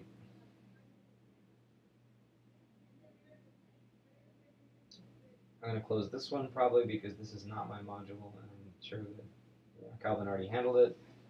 Okay. Um, I'm just trying to glance at something that I think I can maybe maybe handle right off the bat. Here's an interesting one. Live syncing more than five databases. I think that's something that CouchDB does not support very well right now, mostly due to the eight connection limit, which I'm sure that's the first thing.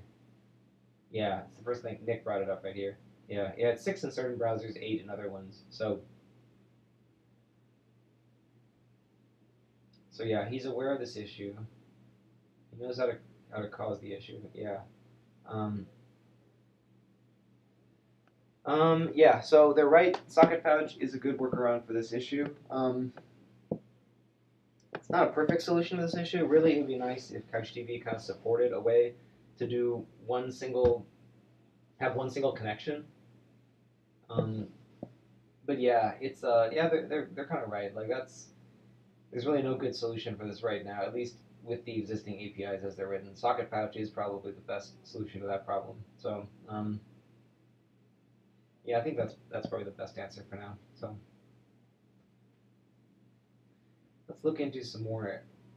I'm gonna look at some more red ones, so hopefully I can just kind of glance at them and be done.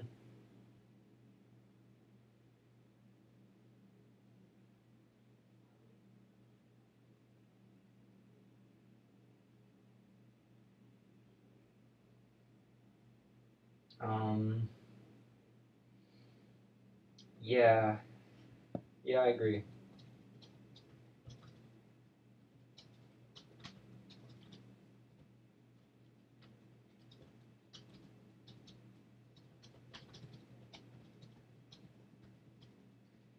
Yeah. Oftentimes, what I do with issues is I, I invite people to make a pull request, and um, I don't feel like that's a very I don't feel like that's a dismissive thing to say to people. Like to, to say like pull to say pull request welcome. I mean that's kind of like a there's a there's there, I've heard people joke about that before, right? About how like dismissive and like um I don't know unfair to people that is. I don't think so because here's the thing: is that like when you have a big open source project and lots of people are using it, like 20 people are going to use it in 20 different ways, and each of those people might have very specific needs or specific edge cases or specific issues they ran into, and maybe it'll never affect the 19 other people. You know, one of those 19 people being the maintainer. So, like, should the maintainer be responsible for fixing those 20 edge cases for 20 people? I don't really think so. Like, I think it depends. If it's a really bad bug, like a nasty bug, then like, like I don't know, like you, you run into this bug and then like your database is deleted or your computer explodes. Like, if it's something like that, then yeah, you should go in and fix it. But if it's like just kind of an inconvenience for one user who happened to run into Nation one way, like in those cases, I'm happy to just say pull request welcome. Like, feel free to go in and change the code and fix your particular case, but um, I'm not going to go out of my way to do so because I have other things I'd like to get to. Um, at this point, I'm just trying to get through my open issues actually, and just kind of like I'm just kind of glancing at stuff. Uh,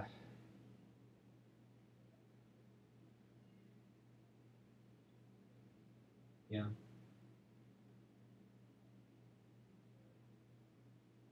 Okay. Yeah, so let's see if I can find a good, like, meaty issue to get into. Actually, let's let's look at.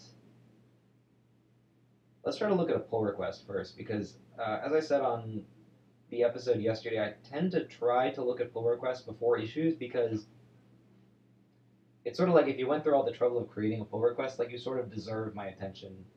That, that's not really sorry. That really sounds like a like an elitist way of putting it. It's not that you deserve my attention. It's that like you. Yeah, like I guess so. Like you put in a little bit more effort. Like you deserve a speedier response. Like if I was to sort things in a pile, like people who made pull requests, like yeah, I should I should address your, your pull request before I look at issues. Um, so let's see what this person is on about. Package JSON versionify is a dev dependency. Excellent package, by the way. Okay. Yeah, that's fair. I mean, actually, no, this is wrong. No, actually, this, actually, yeah, actually, this is not correct. So, I should explain what this module is and why this person's incorrect. So package JSON versionify is a very short browserify transform that I wrote. I'm getting pinged on Twitter right now. Uh, is, is a very short uh, browserify transform that I wrote that basically just allows you to say require package JSON, and then instead of including the whole JSON file, which is huge, it just boils it down to the version because I, I find I just a lot of the time I just want to include the version from package JSON. Like I do this with Service Worker actually. It's kind of neat because then you can easily like manage changes to your Service Worker by just incrementing the package JSON version. It's really really convenient. So I use it for that, and it turns out that with browserify transforms you don't want to make those dev dependencies because if you do, and if you publish a library that tells browserify to transform using this transform like if you include it as a, a if you include it in like the browserify part of the package JSON, like uh, I'll show you an example of who does this. Like Calvin does this. I was I was talking about this just yesterday, in for Calvin's project Lie. Like if you go in here, you'll see he has this. Yeah, he lists his browserify transforms. So if you make these a dev dependency, the people who depend on this module will not get it. And so it won't work. It'll actually break when you try to install it. And you can see Calvin knows this. So Calvin has these as dependencies, not dev dependencies.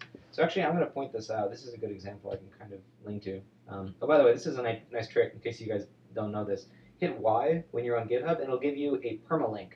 So notice that before it said master at the top, now it says A877 whatever. So now I have a permanent link to this uh, commit message. So in case Calvin changes his package JSON, the link is still going to work.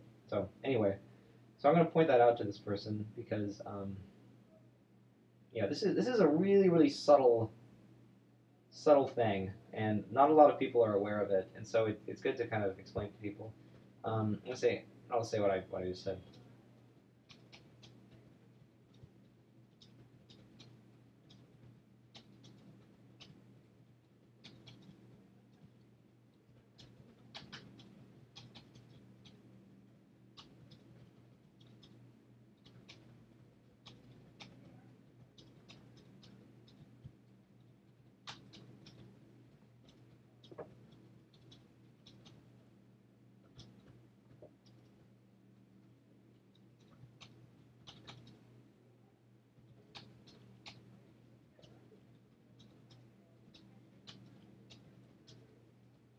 Yeah, so I'm just pointing out exactly what I just said. By the way, I never know whether, whether to write browserify with a capital B or a lowercase b. I know some some projects are really particular about this. Like npm likes to be written all lowercase, and I think Node is technically supposed to be written all lowercase. Um, I I don't know. I'm inconsistent about it. It's kind of a I think it's kind of a, a funny affect. Like, I mean, come on, we're not we're not E. Cummings. We're not poets. Like, we're writing software. Anyway, so, all right. Uh, so I close that issue or that pull request. Oh. Thanks, Francis. Well, it'll be live afterwards. You can check it then. Or not live. It'll be um,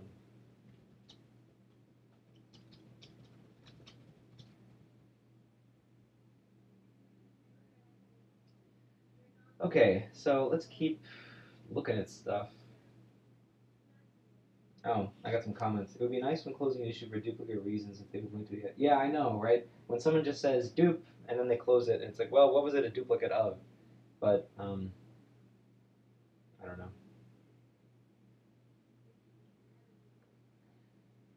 Bug triage more fun for you this way, or when you or are you talking out loud when you're doing?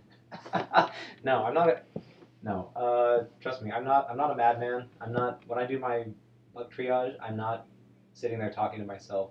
This is just kind of fun. You know, I got the idea for this live stream basically for two reasons. Number one, because I watch a lot of live streamers playing video games, mostly playing Super Smash Brothers.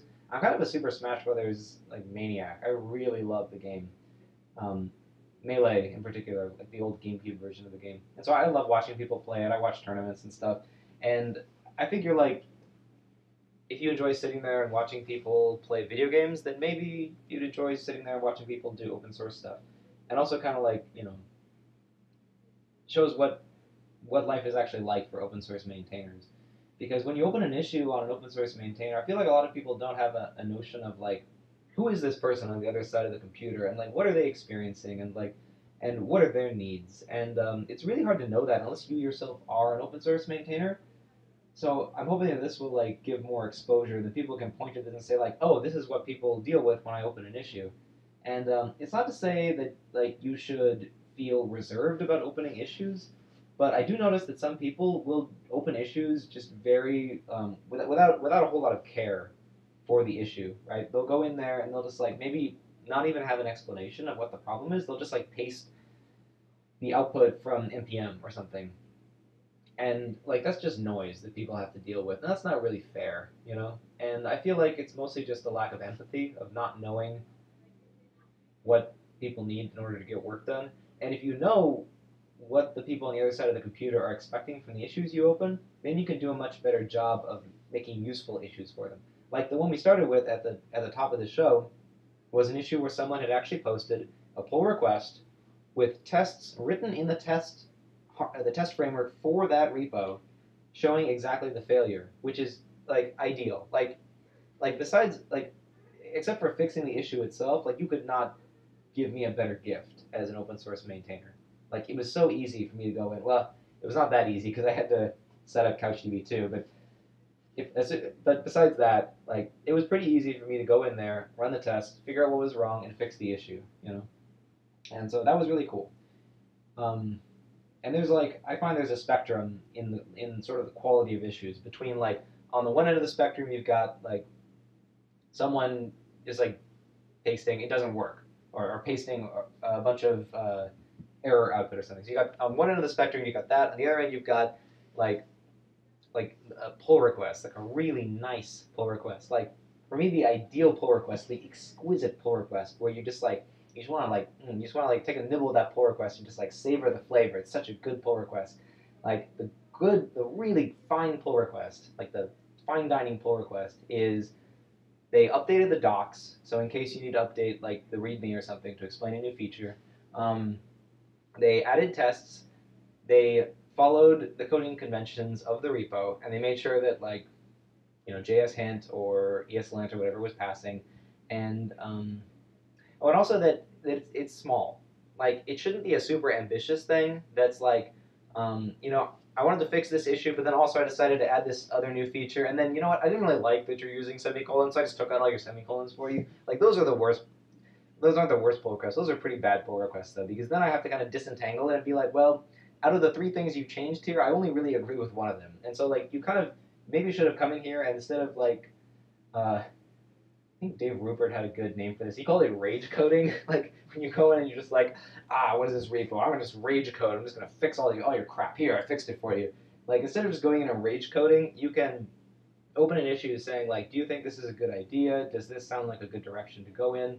Um, or frankly, you can fork it because like the great thing with open source is that if you don't agree with the direction a project is going in and you want to and you, you, you know exactly the problem you want to solve and you know how you want to solve it, then just work the project, honestly, and like go your own way.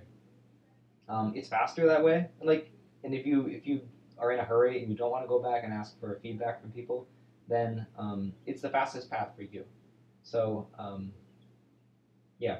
So anyway, so what I'm trying to point out is that um, this is just kind of an interesting experiment, this whole live streaming thing. So we'll see how it goes. I don't know.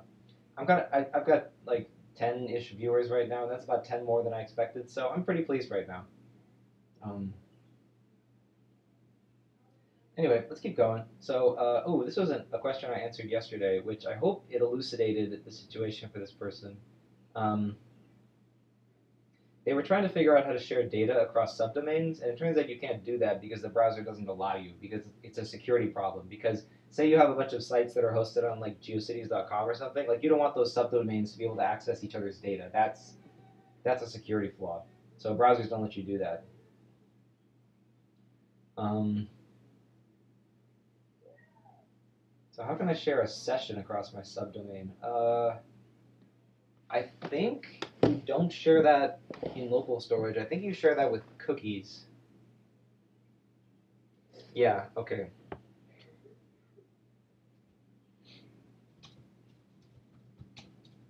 I believe the solution to that, e.g. what Google does, is to use cookies because I believe you can specify cookies to work across subdomains. I think. I'm actually not sure, but I admit I'm not sure. In any case, I don't think local storage or localForage, I don't think local storage IndexedDB is the right solution for session management. Well, it's funny because there is a thing called session storage, but nobody really uses it. Even then, it's not really the right solution for this particular problem because session storage is also sandbox across domains. Um, I just got a message from Jan.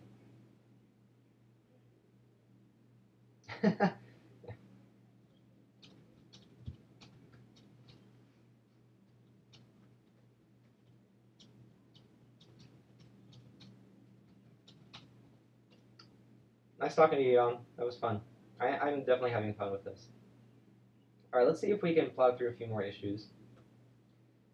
Um, so as I said, I wanted to look at pull requests before I looked at issues. So here's a pull request, here's another pull request, and here's another one. So I only have three pull requests remaining, so let's look at these. Um, oh, this is just a comment, okay. Oh, and this is closed. Yeah, Nick Colley made a really cool logo for local npm, which I like a lot. It was really sweet of him. Um, just a nice logo. He also made the PouchDB logo, so he's uh, he's uh, he's really been great in the in the community for helping us fix our, our design needs. He also like basically wrote the PouchDB website, all the CSS and everything. So kudos to him. Um, so this looks like a documentation change. Document the PouchDB and Express mod plus Express modules be installed. PouchDB and Express modules should be installed along the, along the Express PouchDB modules to have the most minimal working application, and this is in sync with the example usage. I'm not sure what this person is talking about.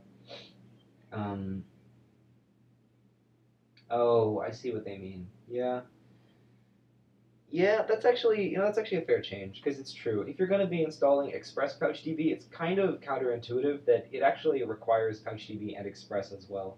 Which I mean, I know it looks kind of silly when you look at this and you're like, npm install foobar foobar, right? It's like why do I need all this stuff? But we designed this thing to be pretty modular and pluggable, and so you kind of it, it's designed so that you kind of have to um, you have to install all of this stuff.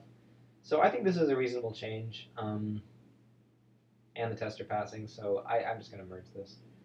Uh, I'm going to make sure that squash merging is enabled for this repo. I believe it is. We're kind of going through all our old projects and making sure that, yeah, we only have squash merging.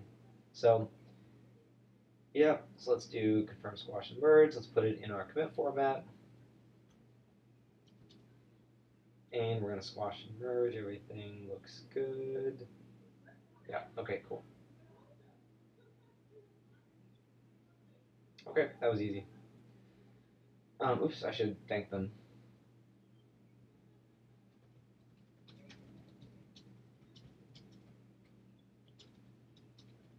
Yeah, always thank people when they give you pull requests because they're going out of your way, out of their way. It's like a love letter to your repo, you know. So give them a shout out. So this issue or this pull request I looked at yesterday and I gave my response, which was that I was kind of skeptical to be honest. So let's see what other people said. oh, that's funny. No, it's funny. He learned about it because of the hacking video yesterday. Yeah, functions don't pass the web worker Threadberry. That's true. that's that's the issue this is trying to resolve is like serializing functions.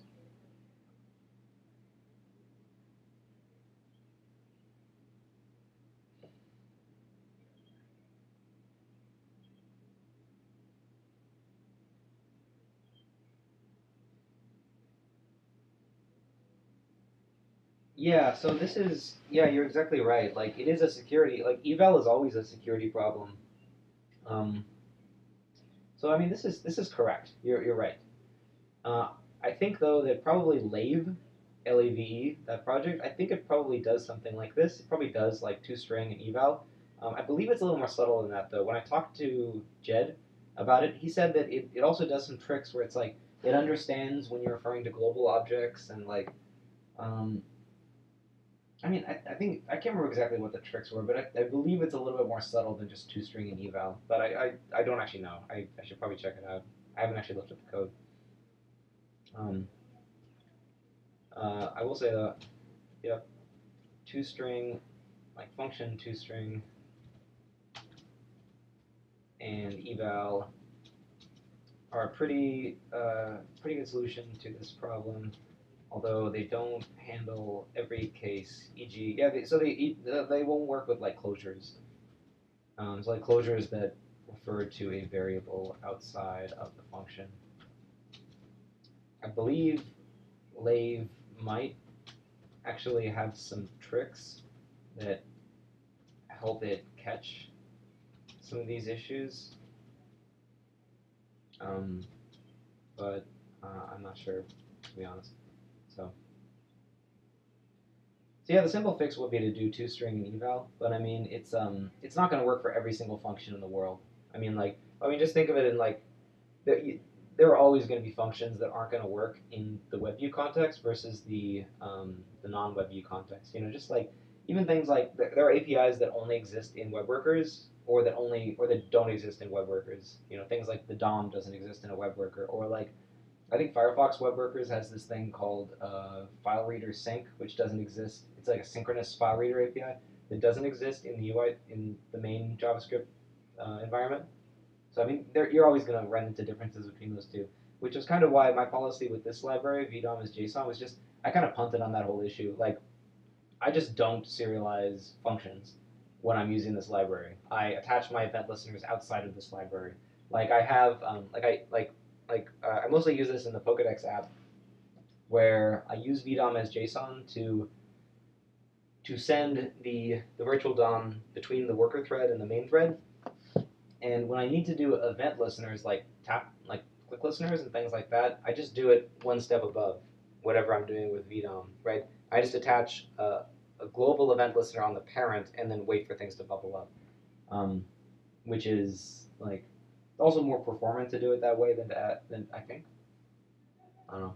Citation needed, but I'm pretty sure it's more performant to have one single event listener than multiple event listeners. Actually, it is. Yeah, that's true.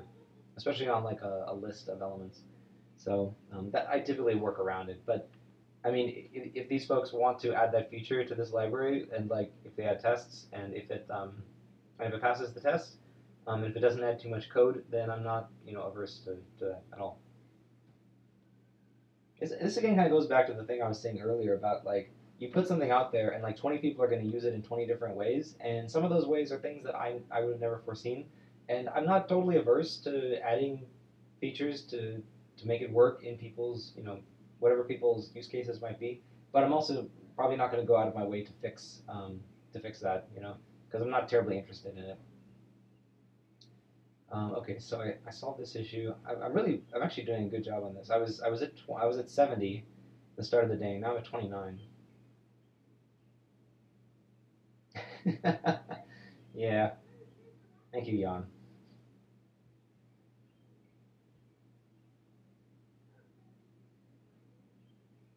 Um, it's funny. People are actually listening to me.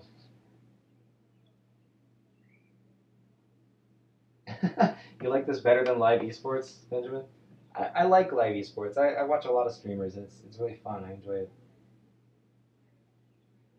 Um, Lotar is asking what I'm doing. I'm going through all of my GitHub notifications, and I'm trying to get to inbox zero on GitHub. Um,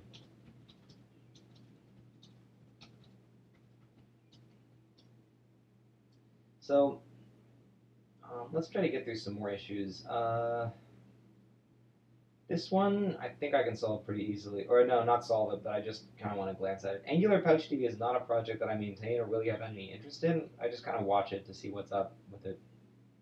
Um, I know it. I know in the past it's had problems integrating with other plugins, other Pouch PouchDB plugins like Relational Pouch. So I'm kind of not surprised to see this issue come up. What did I say? I said it might be reasonable to just manually add method names for the popular PouchDB plugins. Yeah, because I, I couldn't think of a way to make it make the API that this thing defines pluginizable. Um,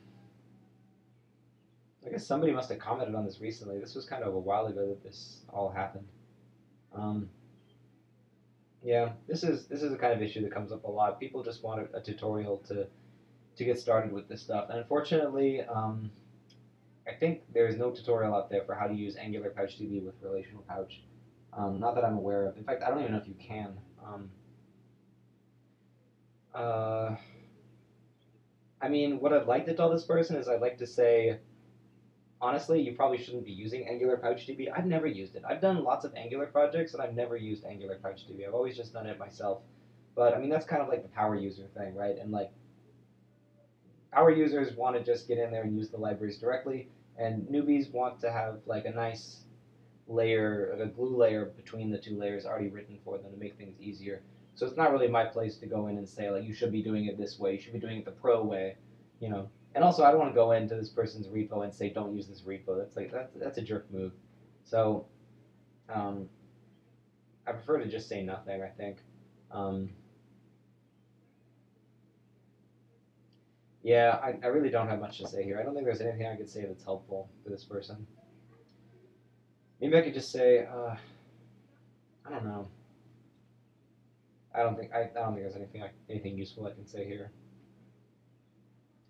All right, let's keep looking at stuff. Um, I will get to local npm eventually, but I kind of want to get through other issues first. Um, let's see what this issue is on Express PouchDB. We use Express PouchDB mainly as a simple in-memory replacement for CouchDB. It allows our developers to skip the CouchDB installation and configuration steps and just start working. Ah, awesome. That's exactly what we intended it for. Um, not production ready, not designed to be run in production, um, not anywhere near as battle tested as CouchDB, but you can quickly get it up and running, and it works and, for the most part, and it passes most of the of the actually it passes all of the PouchDB test suite, so it's it's pretty rock solid from that perspective, but not nearly as rock solid or fast as CouchDB, so don't use it in production. So I'm glad to hear people are using it that way issue I'm now facing is that the artifacts that are created when spinning up a server, namely config.json and log.txt, while not the end of the world, they certainly are a bit annoying. Since we are mostly using ExpressPouch as a purely in-memory store, it's stripped of many of my engineers as to why those files are being created. Yeah, I've heard of people dealing with this. I noticed a comment on 160 that seems to partially address my issue. However, simply sticking the config in temp or piping the log to dev null is not a good solution for, it, for us. We have Express ExpressPouch buried beneath several layer, layers of abstraction. This abstraction handles the configuration of logging on its own. So would it be possible to have an option that allows the configuration and logging to be purely in memory? I noticed that for logging this may be particularly difficult since the CLI seems to be tailing the log file for data. I'm willing to tackle this if you guys are up for it. Um, this is something that I, I didn't really implement most of this logic that he's talking about, this kind of config file stuff. That was Marten de Vries, who is a Apache TV contributor. I think he's from the Netherlands. Um, and uh, he's he's mostly written that, and uh, he implemented it as modules that Express PouchDB depends on. And I know it's been a, a source of annoyance for some people, um, but it works and it's really solid. Um, unfortunately, though, I seem to remember if I think back to the code, there's lots of places where it's just kind of like it does like an fs read file and it expects those files to exist. So unfortunately, this would be a pretty big change uh, in order to implement what he's talking about. Um, and I'm not sure how backwards compatible it would even be.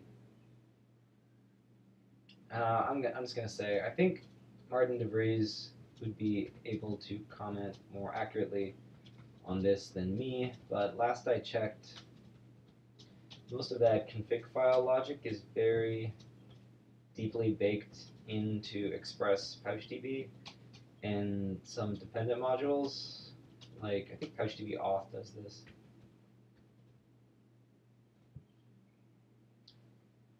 Um, so it would probably be it would probably be a big change to do what you're asking. Um, that said, uh,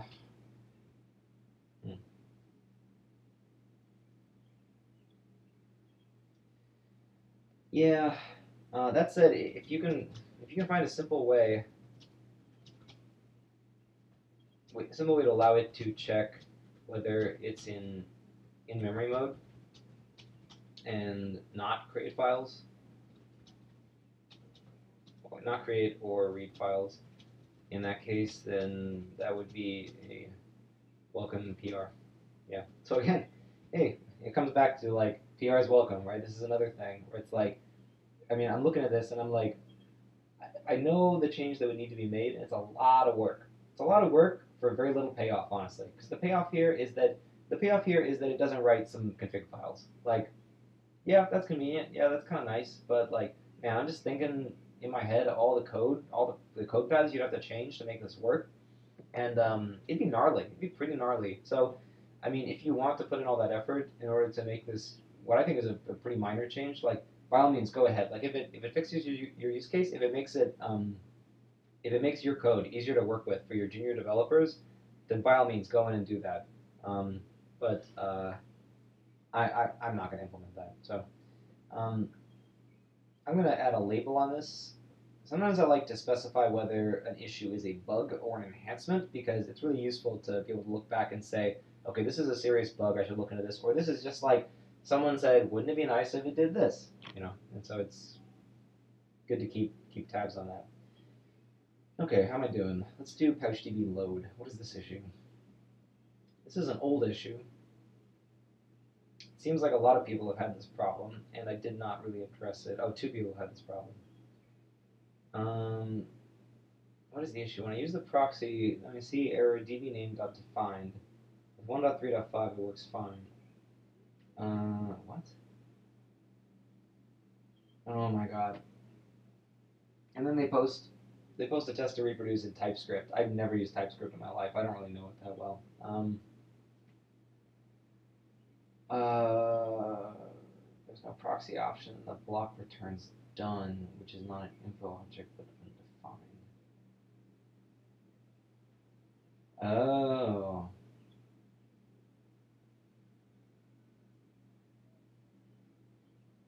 Okay, well, now here's here's another kind of issue. This is a really funny issue right here. I find um, occasionally these kind of issues come up where someone someone figures out a bug, and they go in and they basically paste the code required to fix the bug into GitHub. And honestly, I, I, I don't actually enjoy this kind of interaction very much. Like, this is a pull request that's not a pull request. You know, like someone came in and said, like, I ran into this problem.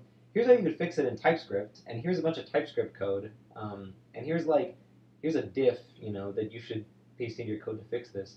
But um, they didn't actually fix the problem, right? Like, it would, would have been nice with all the work that they put into investigating it and identifying the exact line of code that throws the problem and the exact source of the problem and how to fix the problem. They could have fixed it, right?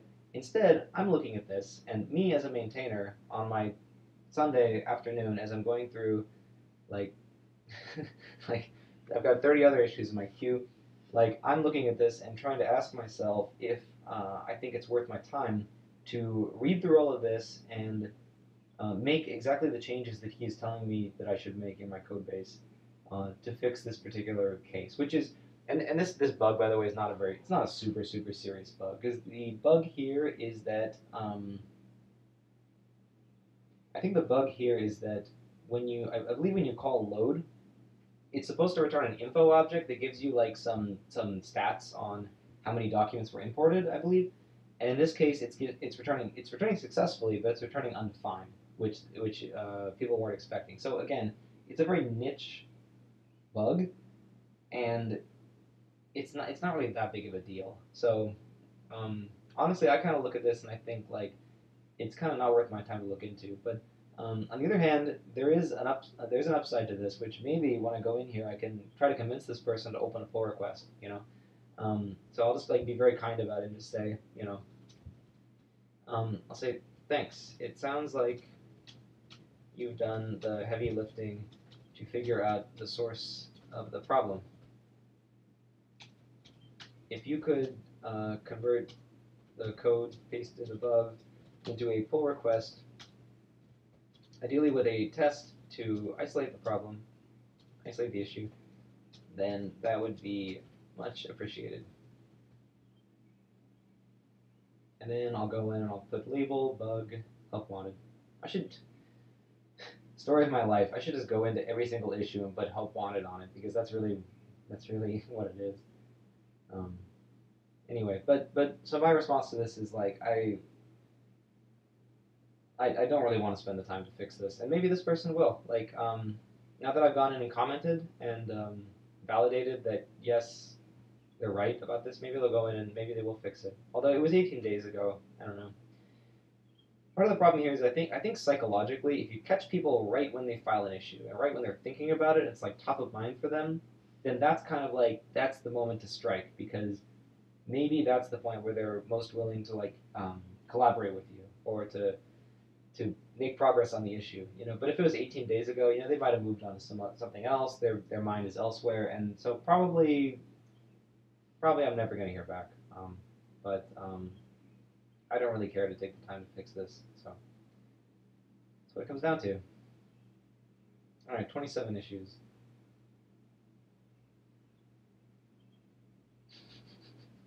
yeah, that's true, Mary. Yeah. Um,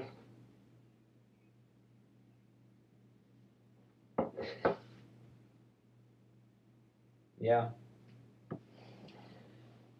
Well, creepy stalker love letter of entitlement. um, that is true. Occasionally, you do get some weird, some weird pull requests like that. But let's see. And people are talking in the chat. Valid response always looks good. Want to open PR. People aren't always comfortable doing that without interaction. Sort of plus one. Good process is always open up PR and get a convo going, but that isn't what most people do, and you are on top of it. I'm trying to keep on top of it. I mean, responding after 18 days to me is not keeping on top of it. I've been really bad about this. Somebody actually asked me, I think, who was it? I think it was uh, Michael Hart mentioned this on Twitter. Uh, like the subject came up of like why why I'm behind, or or rather, let me put it this way: the reason that I'm behind on these issues is because I was actually kind of heads down on a project for like the past two, three weeks, where basically like each weekend I was just devoting myself entirely to this new project, and I was trying to like silence everything, like ignore everything else, put on the blinders, because while it's true that a lot of open source work is like interacting with people and discussion and like documentation and stuff that's not code, a lot of it is also code. And I especially find that in the case where I'm writing a completely new project from scratch, I really need like complete concentration and I need to just like shut out everything else and just work on this. And the project that I was working on was the SQLite plugin 2, um, which uh, I'm really proud of. I think it's a good project. Um, I hope that people end up using it and that it um, it does some good for them because um, it's a fork technically. And this is this kind of goes back to what I was saying about like um, you should be classy when you fork. Like don't don't smack talk the other repo too badly. And I, I really tried hard not to smack talk this repo as much as I could the one that I, I forked essentially. Not really a fork. Actually, I, I mostly rewrote it. Like, um, I actually like hit new project and rewrote this thing basically, and I, I think I borrowed some. I think I borrowed some code from Objective C, but I rewrote the JavaScript and the Java from scratch. In any case, it was a new project, and I was kind of heads down working on it for like weeks and weeks, and that's why I was I got behind on GitHub. This was a really fun project though, and incidentally, in this project, actually most of my time was not spent on writing the code itself, but was spent writing the tests for the code. So anyone, if you're interested in how to actually get a Cordova plugin that runs the tests against actual iOS simulators and Android simulators, this project actually does it. And it does it with Zuul with some tricks where I um, I get Zuul running and then I basically download all the Zuul HTML, CSS, and JavaScript and turn it into a Cordova application. And then I run the Cordova application and I like communicate with it using Appium and check that the Zuul tests are passing. And it works really, really well. Like, um, like on Travis, you can see I actually managed to get tests running in iOS and Android on multiple versions of each. Um, but this actually took the longest time. Like I, I had this project working for forever, and then uh, and then the tests were the hardest part. Um, so I mean, it looks like it's failing here, but the reason it looks like that is because this is a pull request from someone else, and the problem is that when you open a pull request and you don't have access to that repo, you don't have the private environment variables in Travis because it's a security that's a security vulnerability because you could just echo them and then you would know like people's passwords and stuff. Unfortunately, that means that they can't access Sauce Labs. You'll notice that uh, there's a Phantom JS test, test that's passing, but everything that relies on Sauce, Lab is, Sauce Labs isn't passing. But if you go and look at the actual master builds, you'll see that everything's passing. Um, yeah, and so you see, I've, I've got this project that tests in Phantom.js, tests in Android 4.4, Android 5.1, iOS 8.0, and iOS 9.2 with WK WebView instead of UI WebView. So that was really hard to get up and running, all those different tests. Um, but it works. It works with uh, Sauce Labs, which is nice. Where did that pull request come from? Did someone Oh yeah, I think someone made a change to the README. Did I close this or did I? No, I merged it. Okay. Oh yeah, this was just from the documentation. So there was a bug in the documentation. Well, I hope it's actually passing in master because I merged this and then yeah, it probably failed. Yeah. So I mean, okay, Sauce Labs is great. I love Sauce Labs. It's an amazing free service. I could not do my open source work without Sauce Labs, but occasionally I do run into issues where like um, tests fail randomly. So it's a good. This is a good time to check to see if master for this project is actually failing or not. Um, why? Oh, maybe I told it to skip CI when I merged it. In any case, looks like master is passing, so I'm not going to think about it too much. Anyways, a README change. Like when you change a README, you shouldn't rerun all the tests. It doesn't matter. So, anyway, I got off on a tangent, but um, yeah. So Jamie, I I'm not really on top of my notifications, but I'm working on it. That's that's why I'm here right now. Um, thank you for keeping me company while I get through all this stuff.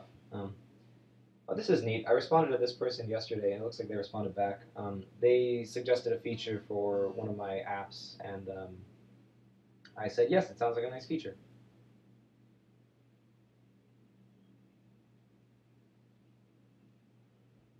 And their response is that they don't have time to look into it, which that's perfectly fine. You know, we've all got lives. Like that's cool.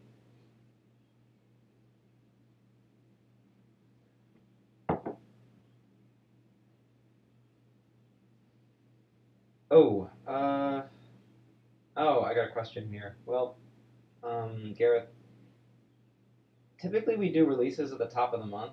Uh, I think we've been kind of lax about it. We haven't done it this month. Um, yeah. Uh,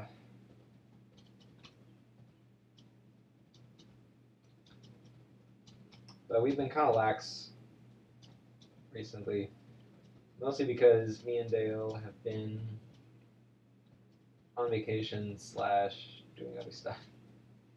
Um, but I was planning on doing a release soonish after most of the pull requests, the open PRs were merged.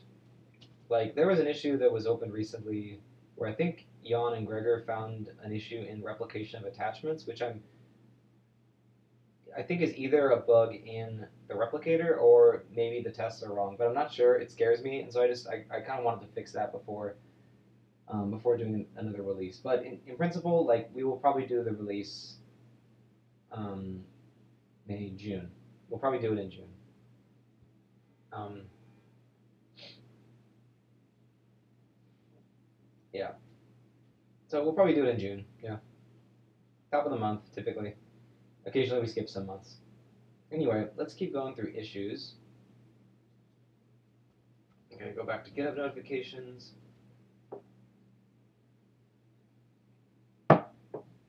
Okay, uh, let's go through these PouchDB authentication issues because it looks like these are mostly questions rather than bugs. So I just want to, I can probably just respond to people. Oh, RichLitt, that's funny. I actually met him in Brooklyn JS recently. He's a cool guy. Um, he did that. Uh, the user is drunk, where it's like this um, this service where he would like get drunk and then review your code, um, and like take a video of it, um, which was it was really funny. But then he wrote this nice like somber follow up piece where he talked about how like he actually realized that was kind of uncool, and he felt like he was kind of like making light of alcoholism, and so he decided to stop doing that service. And also, it wasn't it wasn't good for his body, and so he stopped doing it for that reason, which is totally legit. So, very legit guy. Um, I remember this issue, and I remember him opening a pull request, and I remember me basically saying that I think there should be a test before this pull request is merged. Um, uh, yeah, somebody opened a, a, a pull request for this.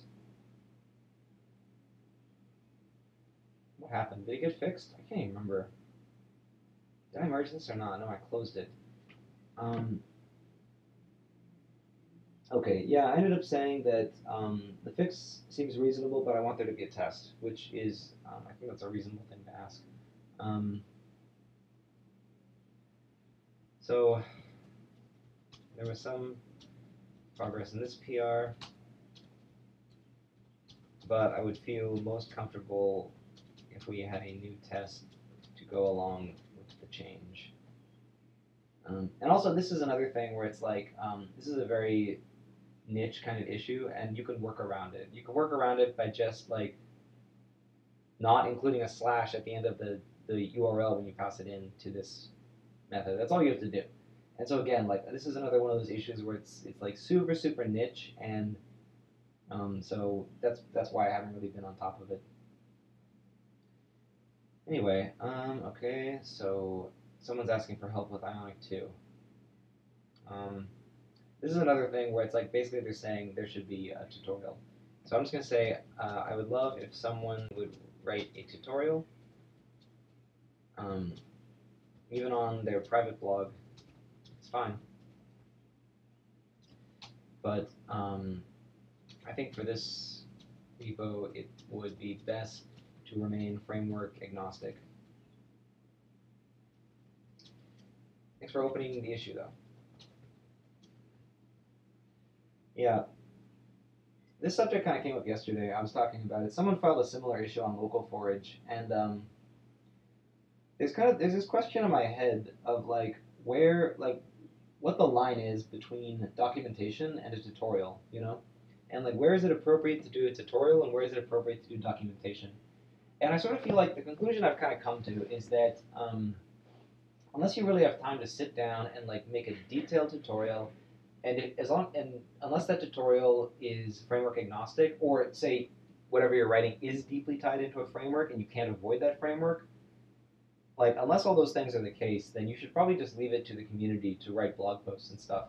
Because people who are approaching uh, a piece of software for the first time and trying to integrate, try to work with it, and especially if they're beginners, I don't think they go to documentation. I don't think they. I think they kind of intuitively like don't trust the docs on the project because it's just too dense, and it doesn't like, it doesn't tell them step by step how to make, how, how to use this this this library you know, so like for instance, um, let's say you're writing a Cordova application and you're using the SQLite plugin with CouchDB.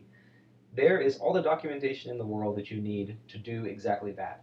Unfortunately, you have to kind of piece it together because it's all API docs, right? Right. So you're going to be pulling it from like this part of the CouchDB docs and this part of the SQLite plugin docs and this part of the Cordova docs, and what people do though, which is really nice, is that they write blog posts where they say, like, I, here's an example I can think of. I can think of right now. Someone uh, wrote, um, someone wrote a, a, tutorial about how to do this. I can't remember her name off the top of my head, um, but she also, I'm gonna find it because it's kind of interesting.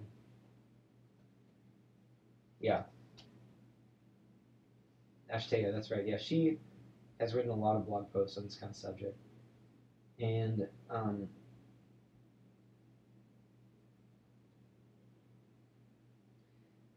yeah, so she wrote, okay, so here, here's a blog post she wrote. So here's, here's a perfect example. She wrote a blog post saying, like, step by step, here's how you start off. Uh, like here's here's how you uh, yeah, here's how you set this up. Do this command, then do this command, then do this command. Here's a screenshot of what it's going to look like. Here's the next thing to do. And when you're a beginner and you're just learning to code, this is gold for you. You love this. This this is how you get started, right? Like I, I got started on this kind of stuff. Like when I was making my first web apps, I didn't know all the intricacies of JavaScript. I, I, I started by learning Angular, I think, or maybe jQuery. I can't remember. jQuery and Angular probably. And I probably followed somebody's tutorial like this. I probably did not go to the official documentation for jQuery or Angular very frequently. I probably started with this stuff. And you can put this stuff inside of your your um, your uh, GitHub for the project. You can put it on the wiki or something, or even in the README. But I think that if you put it in the README, it very quickly like starts to kind of balloon. And then if you put it in the wiki, then there's kind of this implication that like you're maintaining it, and you're kind of taking it upon yourself to maintain it. Whereas I think it makes more sense in these cases to just let the community manage it. You know, let people publish it on their private blogs because then like it has the added benefit of it gives them exposure. Like you know, you can point to all these blog posts you've written and say like, look, you know, clearly I understand how this software works because I wrote it. I wrote the tutorial on it, right? And this is super useful for for beginners. It's super helpful for you as you're writing it to like kind of go through your thought process about how to integrate these different libraries. And it's really useful for the authors of those libraries because they don't need to go in and learn how 20 different frameworks work and write 20 different tutorials about how to integrate your library with that framework. They can just point to your blog post. So yeah, so I, I think that like it's best to just point people to these things. And um, I wish I could just point this person to the uh, to this blog post, but uh, I kind of can't because unfortunately, see, this blog post explains how to use PouchDB plus Ionic, and what this person is asking is how to use PouchDB authentication with Ionic 2. So until somebody writes a tutorial, and that person is not going to be me because I don't really know Ionic 2. So um, until somebody writes a tutorial, unfortunately, uh, there's not not a whole lot that can be done here. And certainly, I, I don't think it's my responsibility to write that tutorial. Um, maybe I will. Maybe I will write write a tutorial for some framework that I'm interested in, but I'm not. I'm not completely. I'm not super super interested in Ionic 2 right now, or at least not interested enough to write that tutorial, so I'm not going to. Um, so this person is asking about TypeScript and about Ionic 2. That makes sense. I, I, I think I heard that the convention for both Angular 2 and Ionic 2 is TypeScript. So um, anyway, I'm, I'm, I'm not interested in this though. Like, like I'm not going to write the TypeScript definitions for this project. I don't even know TypeScript. I've never written a line of TypeScript in my life. You know? So Actually, my understanding is you don't need to host the TypeScript definitions in the package itself. We never did this for PouchDB, and people have never complained because there is. Okay, somebody wrote this. I swear, somebody wrote TypeScript definitions for PouchDB.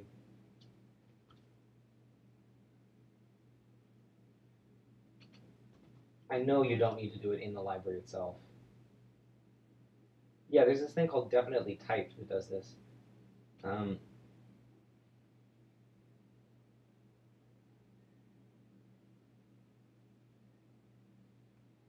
whoa. Well, huh. Maybe it hasn't been maintained though. That's kind of sad.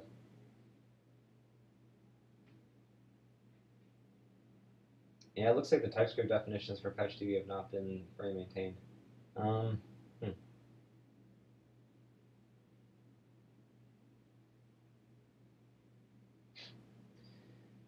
Yeah, so, uh, hmm. well, again, is, I don't know.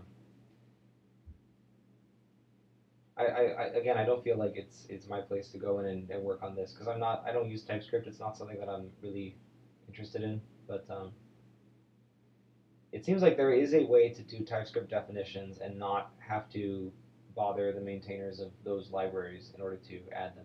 So, yeah, see, it seems like there's a thing here for it. So, oh man, this is really killing my browser performance. So I'm just going to point to this and say that um, I think I'd, I'd prefer to, yeah. Uh, I think I'd prefer to put the TypeScript definitions in DefinitelyTyped. There, there are already some definitions for PouchDB itself over here. Thanks for opening the issue, though, and um, if you'd like to contribute the TypeScript definitions to definitely typed, that would be awesome. It's one of the things I don't get about TypeScript, to be honest, is that like, how do you use modules? Like, how do you use popular npm modules? Or do you just only use the most popular ones? You know, like, do you just use Lodash and you just use um, Moment and you don't use anything else? Because I can't imagine that the other ones are are as well maintained. You know, like CouchDB is a good example. It's not the most popular project in the world. It's probably top, I don't know, 100 on npm, maybe, maybe 200. So it's not surprising to me that it doesn't have up-to-date TypeScript definitions. But yeah, I feel like if you use TypeScript, like you must really suffer a lot from like the TypeScript definitions getting out of date with this library or that other library. Like, um, it's one of the reasons I haven't chosen TypeScript for my own projects. Anyway, uh, I'm not going to get worked up about that. Uh, let's see, what is this about? Get session only functional after a timeout.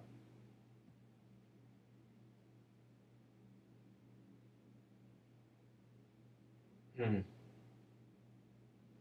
Well, it looks like they solved their problem, so uh, I would prefer to just close this one. Uh, I'm just going to say, thanks, please reopen as necessary.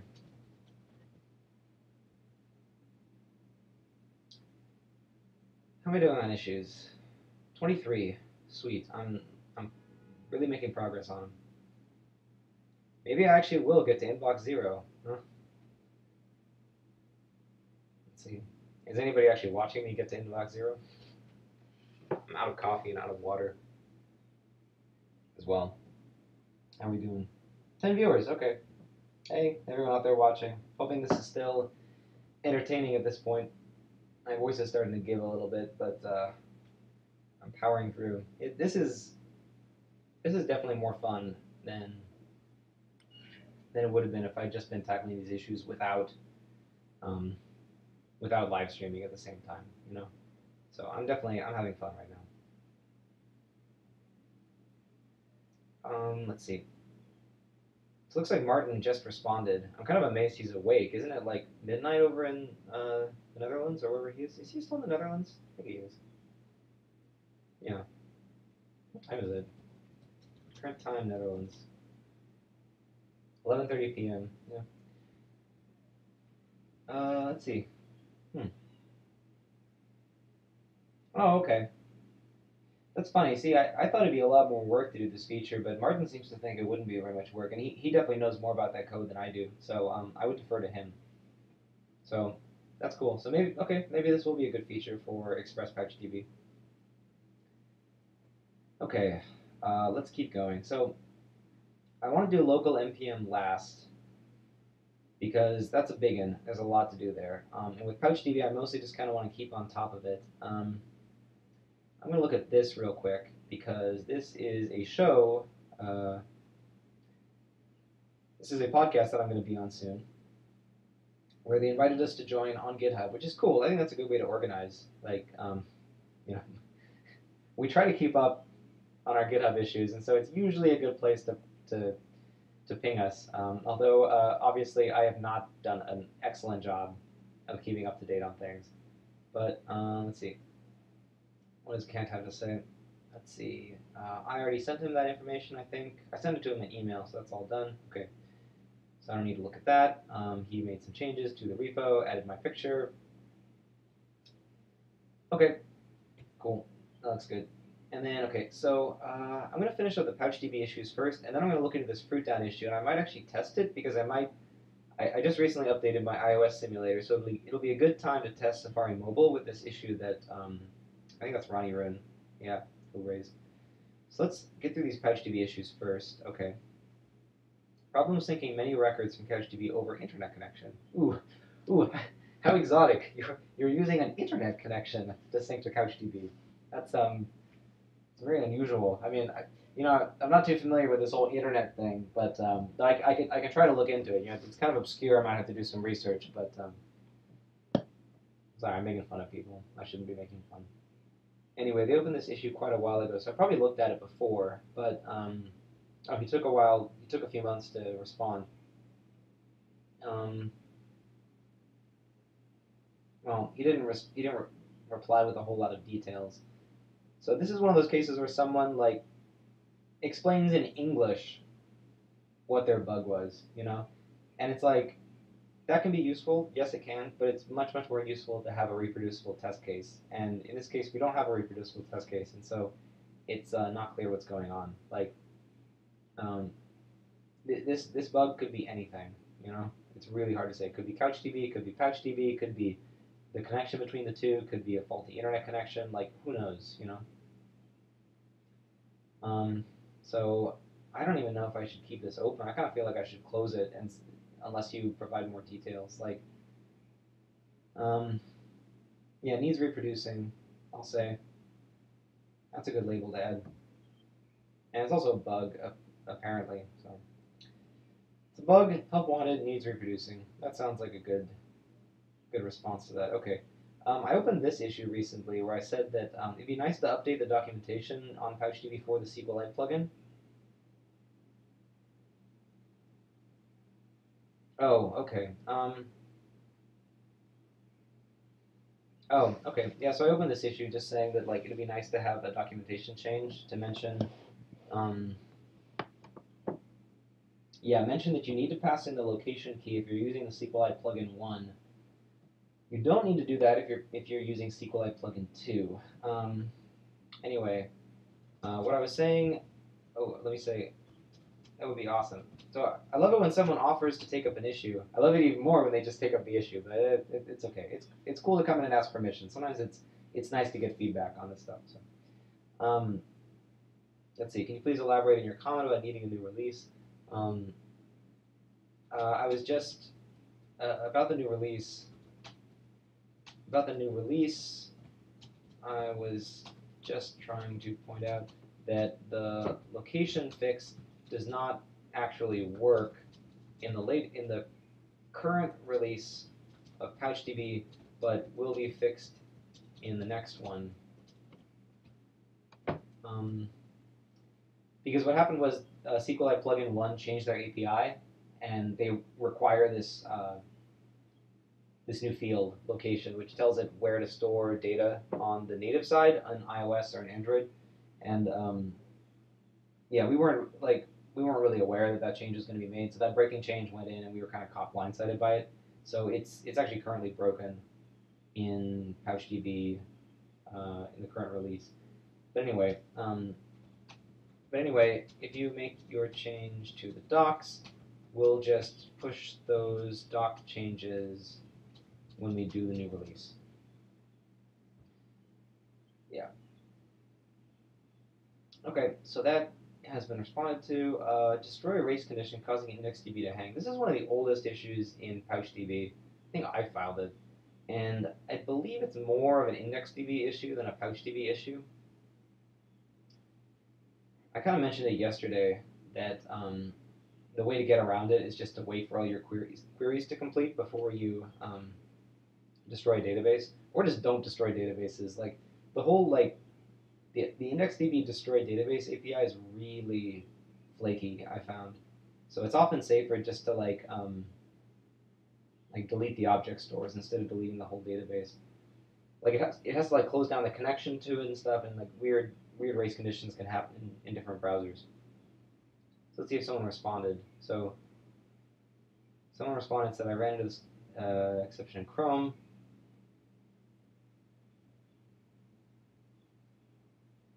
Hmm. Yeah, that's funny. Uh, that's actually a really funny issue. Um, so as it turns out, that whole um, this API uh, is actually quasi-deprecated, which is why we removed it from the docs. If it fixes your issue, then that's kind of troubling. But I would guess it's because of a race condition under the hood with IndexedDB. Normally, this problem can be worked around by just making sure that you don't try to access the database at the same time that you're destroying it. Or in the case of MapReduce, to make sure that your queries have completed before destroying. Um, this is another one of those. This is one of those things though where uh, we maybe could fix it in PouchDB proper, but the way we'd have to fix it would be to move to using a soft destroy rather than a, a hard destroy. The soft destroy being the thing I said about destroying the object stores within IndexedDB instead of destroying the, the entire IndexedDB database, which requires like closing connections and stuff. And the reason that I know that would be a fix that would work is because uh, that's what we do in WebSQL, and actually nobody runs into this issue in WebSQL. Because when you delete all, when you drop all the tables in WebSQL, it just becomes like another write transaction, and under the hood, WebSQL is just like ordering all those transactions in serial, and so it works, um, which we had to do in WebSQL because there is no way to destroy a WebSQL database. It was never added to the spec. So anyway, there is an open issue to add a soft delete, but we haven't done it. I think mostly the reason we haven't is because if we did, that would break the PouchDB inspector, which currently re relies on querying all the available IndexedDB databases using a hidden API in Chrome. So we didn't feel like it was worth breaking the PouchDB inspector because a lot of people rely on it, and we didn't. We hadn't come up with a better way to fix that in the PouchDB inspector. So, long story short, uh, there are ways to work around this, but um, not a lot of super good ways. Um, yeah, glad you enjoyed it, Ben.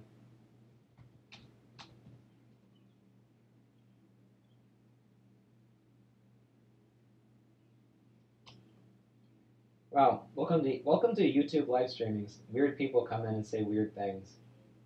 I wonder if I can kick them out. That is really creepy. Um, let's just block that user. Sorry, that's really bizarre. Um, anyway, I'm gonna go grab some water, come right back, and then uh, I'm probably gonna wrap up in like 30 minutes. I don't think I'm gonna get to inbox zero today, but at some point I have to eat food. Um, and uh, yeah, and also I'm getting kind of tired. So I'm not, how, long have I been streaming for? Like three hours, I think. Almost three hours. This is this is kind of fascinating, just to get an idea. Five people watching. They're dropping like flies. Yeah, I'm I'm starting to run out of energy too. I don't blame you. Um, this is kind of interesting just to see what my velocity is on fixing these issues. It's probably a lot slower than it would be if I wasn't streaming because I wouldn't be talking at the same time. Um, but it is kind of interesting to see. Like I started off with uh, 70 issues, and now I'm down to 20. Uh, so I fixed 50 in the course of three hours. So uh, velocity is not great, but um, it's okay. Not doing too bad. Yeah. All right. I'll be right back.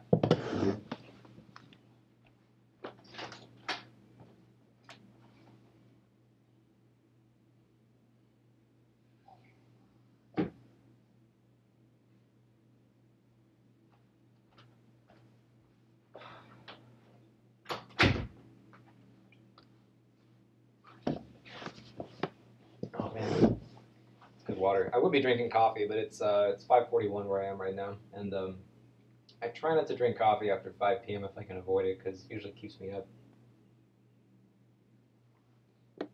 Frankly, it's getting to the point where it's beer o'clock.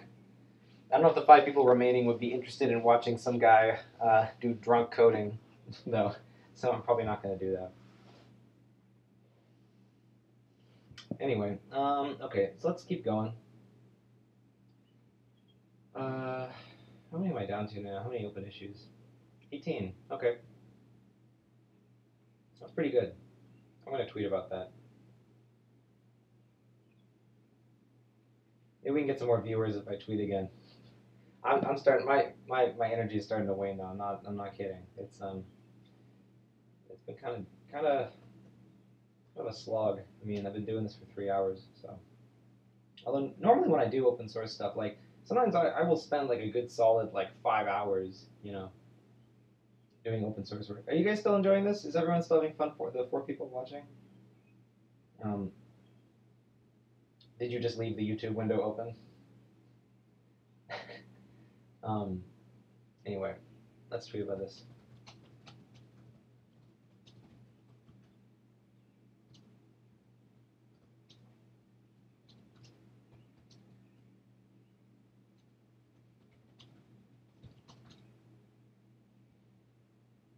How many issues are we at 18 now?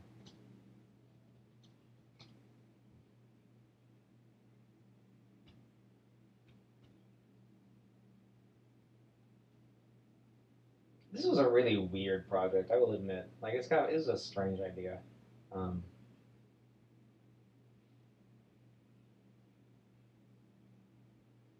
uh, like I actually, you know, I mostly kind of hope that this will inspire other people to do this work. You know, like I, I would really love, you know, I would love to sit down and just kind of like watch other people do open source work, especially if someone's like, um, you know, charismatic and charming, which uh, I can't really claim for myself that much. Um, it'd be it'd be really fun, like in the same way that it's fun to watch someone who's charismatic and charming play video games, you know. So I hope that people take this up. I remember that uh, Sam Saccone started started live streaming his open source stuff, I think. Um, Ashley uh, from NPM was going to do that too. So it'd be cool. I think that'd be awesome. I would love to see people doing this kind of stuff.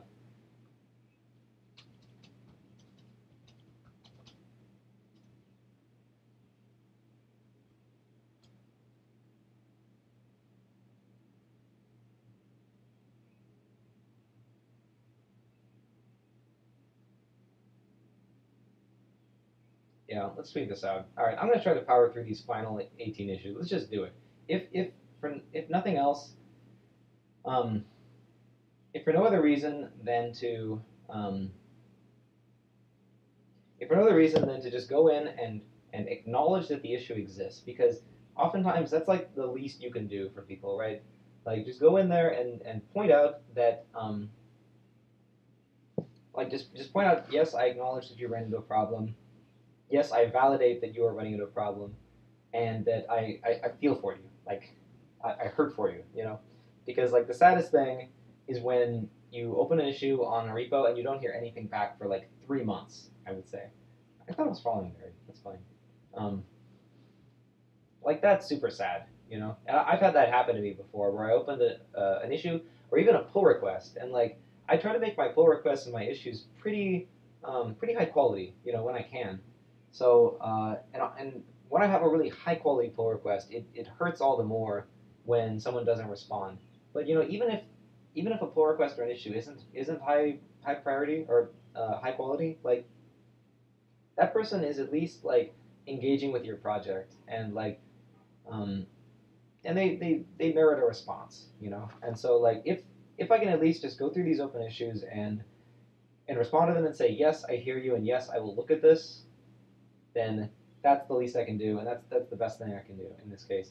Uh, I do have a huge backlog of issues, issues that I've kind of marked as read, but that I still need to get to. So I definitely will add some of those things to that. Like I have this this kind of master list of like big high high profile bugs that I want to look at at some point, and um, and I do eventually get to them. Like like I think I um yeah I, I started this this uh, this sort of this sort of to do list like a few months ago, I think I want to say, and uh, I have actually made progress on closing down a lot of these issues. This, by the way, was a coping mechanism that I came up with because I found that at a certain point I just could not keep on top of my open issues on GitHub, and like the GitHub interface, you know, I, I know GitHub is improving quite a bit, and I know that they they they are listening to us, especially since that dear GitHub letter, which I didn't sign, but I definitely was like I was, I was on board with it. I think a lot of their claims were, um, or a lot of the complaints that they raised were valid. Um, but like, I, I know that they're improving, but it's still really really hard for me to kind of just keep, like, keep a grasp of what issues I should be working on, which ones are the highest priority, which ones uh, I want to put on the back burner for the time being, which ones I want to delegate to other people. Like And I mean, part of that is just because GitHub is not Jira, you know, and it doesn't want to be Jira, and it probably shouldn't be Jira because Jira is like has like thirty thousand knobs and fiddles and is super complicated, especially for newbies to get involved with. Um, but at the same time, like it, this interface is kind of insufficient for doing the kind of work that I'm trying to do with open source anyway. So yeah, so my coping mechanism is to have this big gist where I just keep a, a bunch of like a bunch of checkboxes of all the stuff that I'm trying to look into at some point. But this list comes after the open GitHub notifications though, because like I said, first priority is to make sure that people are, feel like they're being heard. Because, well, I mean, think about it. Like, think about that, that person who filed the issue like 18 days ago, where they basically, they, they did everything but file the pull request, right? And it was left at that. Now imagine that if I'd gone back and if I'd responded to that person 18 days ago, and if I had said, yes, this looks like the right fix, yes, that looks great, can you please open a pull request? Maybe they would have opened a pull request because, you know, it was top of their mind then. They were thinking about it. They were maybe ready to make that commit.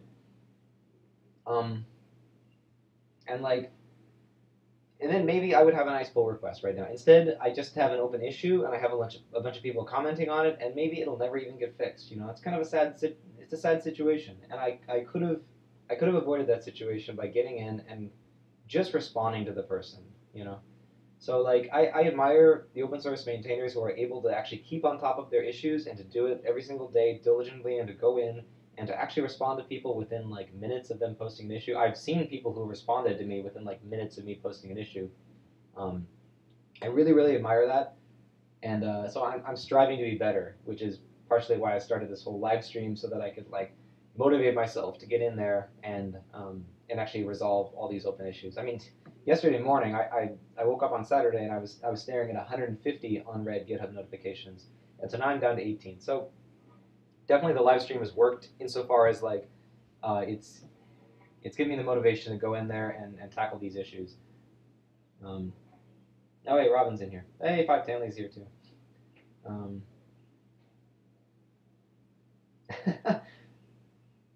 yeah, well, that's cool, Robin. I'm glad you're watching. Yeah.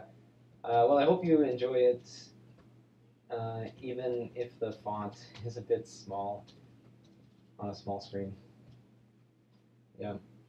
Um, I tried to increase the font size when I'm coding and stuff, um, but um, but yeah, it's, it's kind of hard to follow along. Even even when the font is big, it's hard to follow along. You know, like uh, code in general is just, especially an unfamiliar repo, is just really hard. Even when you're looking at someone working on it, you're like, how do they know to navigate through all these different parts of the, the file system and everything? So I try to explain what I'm doing, but it's um, it, it's kind of tough sometimes, you know. So I just opened this. Oh, I, I just responded to this person 20 minutes ago, and they responded back. Um, yeah, so yes, you look. So actually, this person is absolutely right. I mean, they just called me they just called me on the very thing that I myself just noticed and I didn't really mention here. So they're actually absolutely right. Um, I mean, so, okay. This person is right that that TypeScript definitions get out of date. But I think that's a fault of TypeScript and not a fault of the project maintainers who, like, I, I don't think it's the responsibility of people writing JavaScript libraries to provide, um, you know, I don't know, like, um, to provide a CoffeeScript version and uh, an ES6 module version, and uh, what are all the other ways you could do this? Um, and a TypeScript version, and uh, what, wasn't there a competitor to TypeScript for a while that was popular and now isn't popular anymore? Like, I don't think it's your responsibility to do that for every single library that you maintain. It's just kind of difficult. So I'm going to say, uh, you're right. I saw that those definitions were out of date. Brownie face. On the other hand, uh, I don't think it's necessarily the responsibility of JavaScript module authors to maintain every every possible way of consuming their library, e.g. TypeScript, CoffeeScript, um, ES6 modules, etc. So so for that reason, I like ES6 modules by the way, but I still don't think it's your responsibility to maintain like 20 different ways of consuming your your um, your module. So for that reason, I I really like DefinitelyTyped's approach of keeping the definitions in a separate repo. Uh, hopefully, someone with more interest, investment in TypeScript will go in and update the definitions. I mean, that's really like the most I can say, right? Like, that person is definitely not me because I don't know the first thing about TypeScript, you know? I wouldn't even know how to go in and fix it. So, I, I hope I'm not coming across like a jerk. I'm not trying to. Um, a Dart, yeah, there's a good example. Are people still using Dart? So, uh, somebody, some poor soul at Google, I'm sure, is still using Dart. Um, the low-hanging fruits are the first to rot. Hmm. That's interesting. I've never heard that before. That is kind of sad, though. That um, you know, Robin, that could be a statement about a lot of open source projects. I've definitely seen some of the issues where you look at it and you're like, wow, that's like really easy. Like someone should be able to solve that, and instead it just dies under a barrage of plus ones. You know, and like, you know, it ends up getting like seven plus ones, and then no one ever fixes it. And it's really sad. It's sad to see that happen. But um, it's the it's, it's the reality. You know, it's impossible to keep on top of everything. Anyway, so I was going to go through the last of the PouchDB issues, and then look into this fruitdown issue, and then finally in the end look at local npm, which is something close to my heart because um, I actually use local npm, and I know it has quite a few issues, and um, I've even run into some of those issues myself while using it. Um, it's not bulletproof. I'm sorry about that. It's a you know, I, I did the best I could with that project. I have I have some pretty extensive tests in there, but you know, sometimes when you when it's a when it's something like a proxy layer over npm, you know, a tool that many developers are using every single day, like I think you're always going to run into like little little edge cases that are really really hard to track down, and so it's full of those edge cases. And so I would like to go in and fix it, um, but I'm kind of prioritizing the PouchDB stuff first. So let's see if I have some comments on on Twitter. Um, Anyway, so all right, let's let's see if we can make some progress on these remaining 17 issues, and then hopefully I will be able to reward myself with a beer and dinner and then sleep. Okay, so somebody reported an issue on PouchDB, a sync error. Now I've seen this guy commenting a lot. And he posts a really long. Uh, really long log. This is. I really wish people would post gists when they do this. Like, this is not cool. like, am I am I supposed to make any sense of this? Like, that's, really hard for me to, to parse. You know, it's not even wrapped in like the backticks or the things really even like, um, where you can like see it formatted. Um, so the stack trace. What what can you be running rerunning to cases? Let me see. This 404 is normal. This 500. Okay, this is almost undoubtedly a CORS issue because I think it shows up in the log as 500, an unknown error, which we, we should really try to fix that and make it more obvious.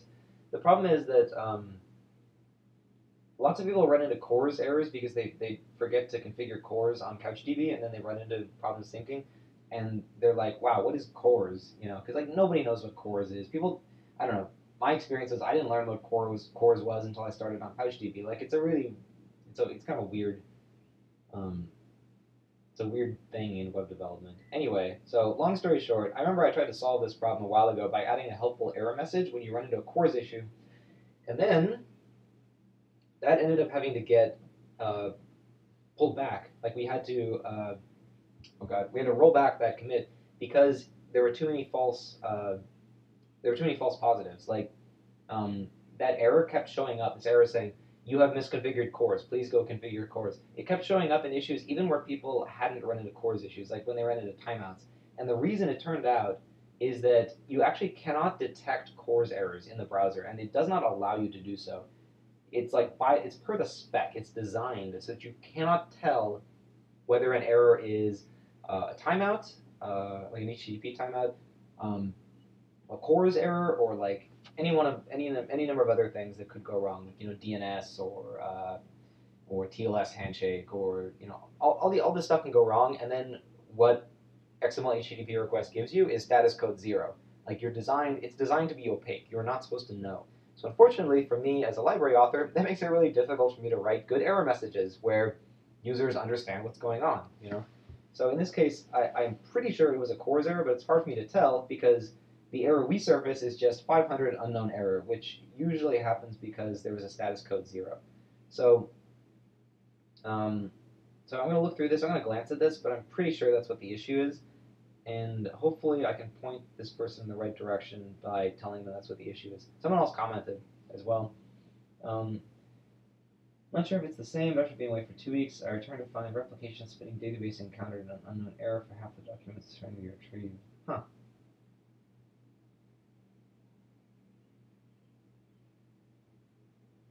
Yeah, so I think all I can say is, uh, unfortunately, the 500 error is the least helpful error message we've ever we we can show to users. So yeah, it's impossible to say what the actual underlying issue is. CORS, timeouts, gremlins. I'm not gonna say gremlins. Um, that's kind of silly. Also, I, I find if you make like cultural references like that, sometimes people don't get it. So it's it, it's probably best to err on the side of caution and not make um, references like that. Um, in the case of the original poster, I'd say it's un, it's almost undoubtedly a CORS error. So you may want to look into add CORS to CouchDB which is a little script we wrote to fix exactly this. Um, I think at this point I can just say uh, I'll label it a bug and uh, need steps to reproduce. Right, story of my life. Now, how's the video coming through? It's it's the sun's kind of setting right now, so I wonder how. It's okay. The light is still good. That's good. I put up a little curtain to make sure that the sun wasn't like like glaring in my face like it was yesterday. It was kind of um, like yesterday part of the video was kind of funny because it's like my curtain was like this high and it's like I had like bright bright mouth and then like dark eyes. So it was, it was really fun for like half the video. But um, I don't want to I don't want to give the impression that us open source maintainers are creepy people who live in the darkness with our shrouded shrouded eyes. You know, I want us to look like normal people, hopefully. So, um, yes, I, I, the video seems to be coming through all right. Hmm. I would love to get contributions to local npm. I think it's actually a pretty approachable project. I mean, it's it's basically Express. It's Express and Yargs to handle the command line stuff, and uh, CouchDB. Um, the existing issues that are open right now, uh, yeah, well, I'm going to get to them later. But um, there's, there's some subtle ones, but there's also some pretty easy low-hanging fruits in there. Um, what does Stanley say? I always edit the original post and link to a gist if the stack is too long. Yeah, that's a good idea, actually. I never thought of doing that, but you're right. Um, sometimes I do go in and I edit people's posts in order to like format it if they forgot to format it, but I never, I didn't think of adding a gist. That's a good idea. Yeah. Yeah, 500 error, abort, retry, fail. oh man. Yeah, seriously. Like, what else can you say? Like, it's. Oh man, it's hard. Yeah. But um, Oh, I see. Yeah, yeah. So you that's a good idea. Yeah. So by so by posting it as an external gist, it still gets SEO'd by Google. That's a good point. Yeah. Yeah, that's a good habit. Um, well, I could do that in this case. Why not? Let's do that. Let's do that for fun. Yeah, that's a it's a good idea. So I'm gonna just go into gist. I'm just gonna create a new gist. Uh, I'm gonna name it. I'm gonna name it.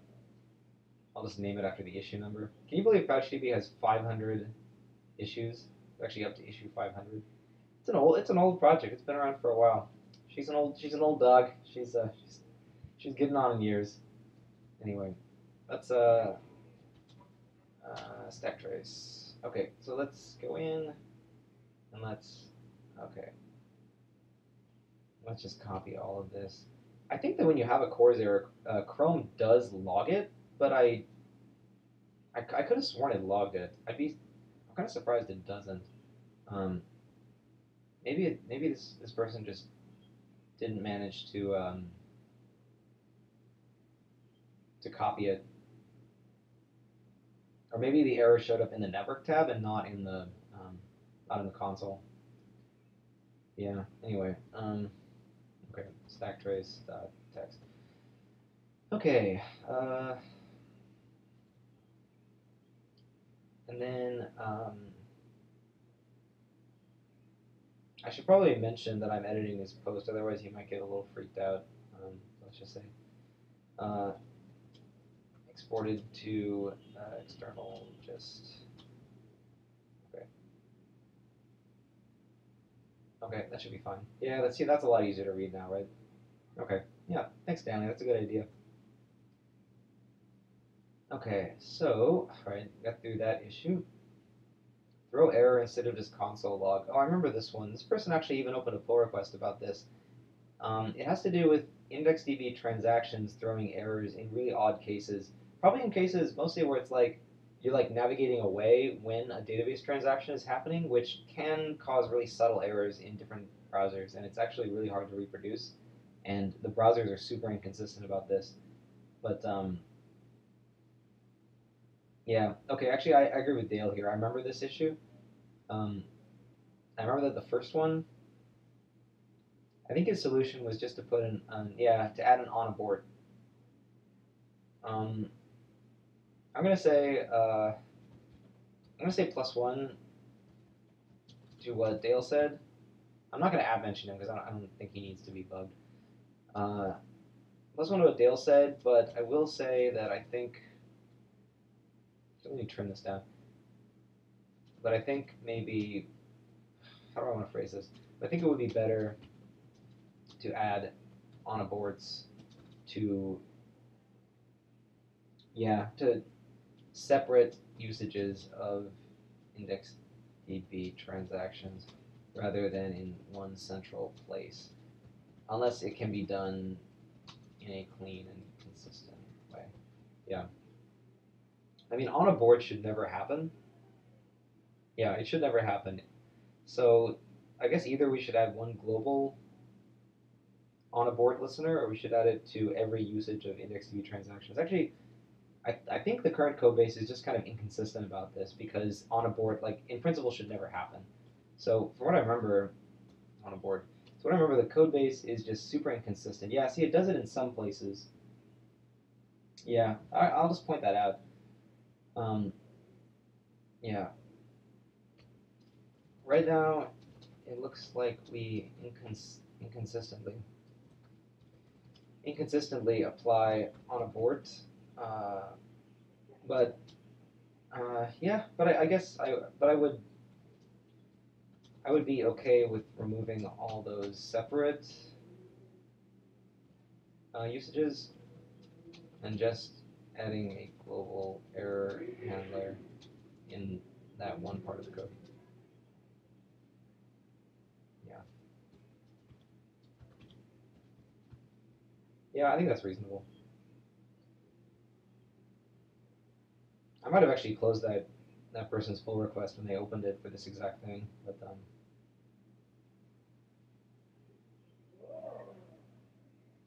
really. So Robin says that when you edit a comment, the original poster can't edit it. Oh, he, he, yeah, he can't edit the gist, but he can still edit the comment, and then just like move it to a new gist, which I think is fine. Yeah. Anyway, I might have actually closed this person's pull request, but uh, I still I still feel like their pull request made sense, but only if we only only if we handled this on abort in one place and nowhere else, and like removed all the other usages. Is, is how I feel. But also, it's, it's kind of a it's a it's a weird. This is a, this is a weird issue because there's like there's nowhere in the PouchDB test suite that it even checks for on abort because on abort is not supposed to happen. Like I'm I'm trying to even remember per the spec how it gets thrown. I think it gets thrown in weird cases where like I don't know, like you're in one tab and you're on the same page in another tab, and you close that tab while you're doing an operation, something like that. I don't really I don't really remember exactly. And it's like, how are we going to write a Mocha test around that? You know, it's um, it's one of those unsolved issues, like how to how to write multi-tab tests. I don't know if anyone solved that. Maybe someone has. But in any case, I, I threw my two cents in. So uh, this was another issue that I opened where I just uh, had a recommendation for the docs that we add like a nice diagram see what Nick says. Yeah. Yeah, Nick is always a champion for accessibility. So, um, yeah, kudos to him. So he's right. Um, I was saying that it'd be cool if we had like a um, a diagram showing how like like showing the whole PouchDB adapter ecosystem because it's really complicated and a lot of people like I, I think a lot of people get tripped up, especially just on names because it's like like and a lot of it is my fault because I've written most of those adapters, but like it's like you've got like say PouchDB using the Web SQL adapter, which can run in Node over a thing called Node Web SQL, which then depends on SQLite, and then like that Web SQL adapter can also use the SQLite plugin in Cordova, which is like a native plugin. It's like this thing is so confusing for people who you know might not even know what SQLite is, you know, when they start using this project. So my suggestion for this issue is that we have like a nice big diagram showing like, okay, here's the whole ecosystem. Here's how it works in Node. Here's how it works in the browser. Here's how it might work in Cordova or in React Native. We don't have great React Native support right now, but someday, someday, I'm, I'm actually like, I have a project where we're like this close. We're this close to having React Native support. Um, so it'd be great to have a diagram just showing like how all this stuff works. And Nick is absolutely right that um, instead of making a drawing, which was my suggestion, it should be accessible. It should be like a table or um, CSS or SVG or something. So um, yeah, plus one to that. He's right. That said, uh, I don't know if anyone's going to actually do it. So who knows? You know, this is a help wanted issue. Anybody watching, if you want to take this up, um, I'd be happy to draw that diagram of how all this all this crap works. And if, if you wanted to if you wanted to convert that to an SVG, um, then um, I would not be averse to that. You know. Um, so this is an open issue, but um, I threw in my two cents. Actually, maybe I'll do that right now. This is kind of more. This that'd be a fun thing to do for a for a stream, right? If I just drew all that stuff, It'd be hard to draw with a mouse though. Um, oh, except you know I could use I could use this ASCII flow tool. I've used this before. It's kind of neat. I think it's called ASCII flow where it's like you can draw, yeah, like you can draw stuff and it becomes ASCII art. It's kind of neat. It's a great browser tool too. So actually, you know, I can. I'm actually going to go back to that other issue I was in, and I'll just post the ASCII art real quick so that people know what, like what I had in mind because it's kind of hard to visualize. So my idea was that like um, you would say like, okay, here's PouchDB. Oh no, no, I want. Oh, don't put a label there. What are you doing? Control Z. So my idea was like you have this. Uh, shoot, what am I doing? Let's take this box. Let's resize it. Okay, yeah, we've resized it. Okay, let's draw on it. Okay, good. So my idea was that we would just explain like, um, okay, here's PouchDB. Shit. Um, how do you move? Is this thing move tool? No. What's the move tool? Oh, I guess it looks like it should be this. Oh, maybe this is like select and you can. Oh, that's cool. This is an awesome tool. ASCII flow. This is really fun, actually. Okay. So my idea was that we would say like, okay, here's PouchDB, and then it's like um, main two environments are going to be Node in the browser, and then there's also um, there's also Cordova, which is kind of its own thing, but let's just let's consider that like the browser. And then it has four adapters. So let's do uh, let's just copy paste this actually. Can I do that? Copy paste. No, it doesn't work. Too bad. Um, should be this should have a copy paste tool. That would be excellent. Is there really no copy paste here? It's too bad. Okay, so let's just draw a box. And uh, so there's four adapters, right? Like you've got uh, the main one, the IndexedDB adapter, which is what he uses in the browser. And how do I resize this thing? Let's see.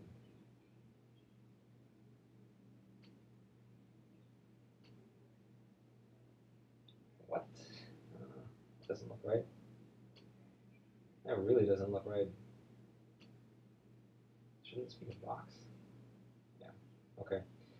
So you got the IndexedDB adapter, and then uh, let's see.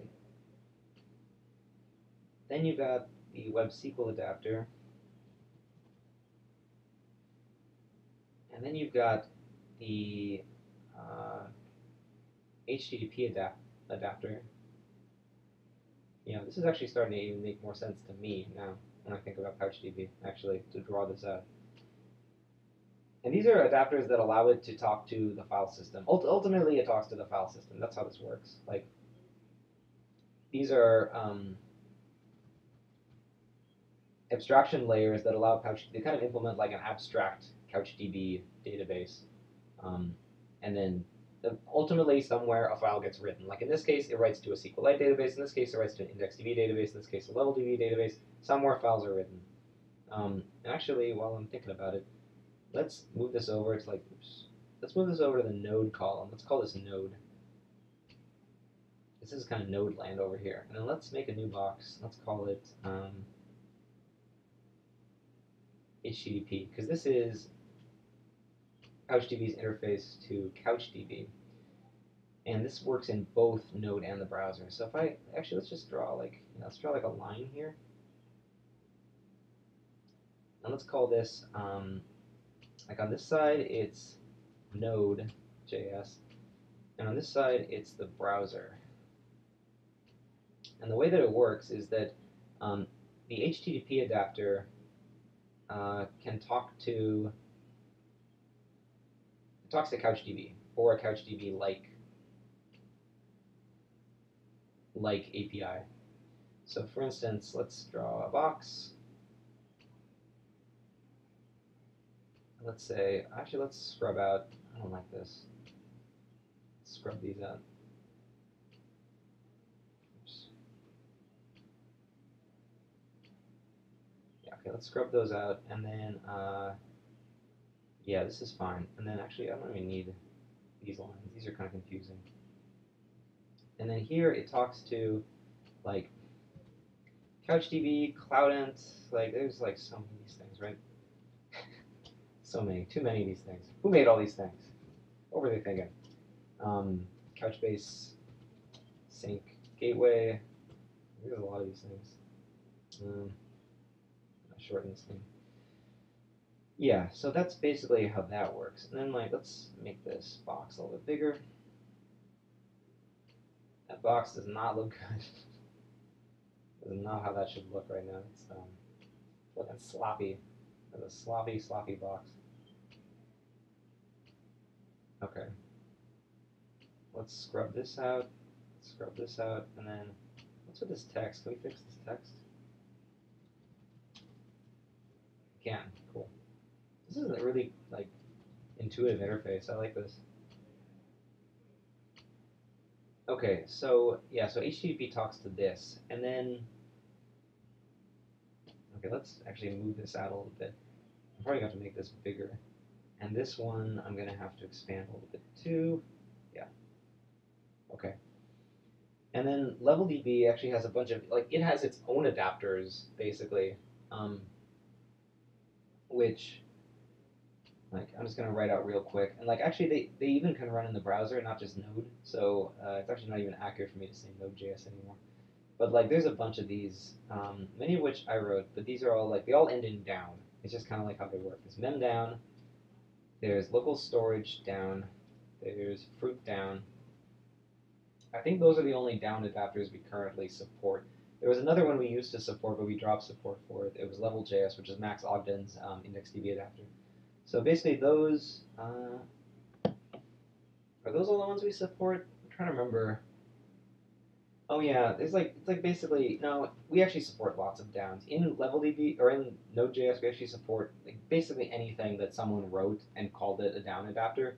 We support with varying degrees of support because they're I mean they're all maintained by the community and they're not all you know battle tested. The first three are definitely battle tested because we actually test those in CI. The other down adapters we don't really test in we do not test in CI. Then there's IndexedDB, which is pretty straightforward, and then WebSQL, which is actually pretty complicated because that one I have complicated it. Like this is actually my fault. I've been keeping this thing alive. Um, I, I am I am like the, the diehard WebSQL fan on the PouchDB team. I don't, I don't think Dale has, has ever really enjoyed working with WebSQL, but I, I love WebSQL. I, I really get a kick out of it. Um, so I've been maintaining this thing anyway. So um, so it has it, it can talk to the SQLite plugin in Cordova. Um, let's just put it down here. Yeah, which is Cordova. Um, and then it can also talk to uh, Node WebSQL, which is which is obviously Node. Um, what else can it talk to? I think that's all actually. So I think this is basically it. Actually, this is like um, this is the whole spaghetti mess basically of PouchDB adapter ecosystem. Am I forgetting anything? You guys use PouchDB. Yeah, I don't think there's anything I forgot here. I think these are all the adapters. Um, yeah, does it get does it get more complicated? I don't think so. I'm just gonna note that varying levels of support. Ooh, we got bugs. Look at that. The V's are being converted to up symbols. That's really weird. Huh. That's really weird. Please make that a V. It's not gonna make that a V. Hmm. This thing has a bug. Uh, can I think of a synonym for these things? Can I think of a synonym for this phrase that doesn't include the letter V? Um, I'm just gonna put unsupported.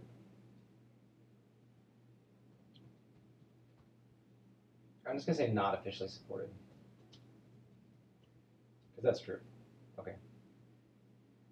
Alright, um, so I think that explains that, that explains that.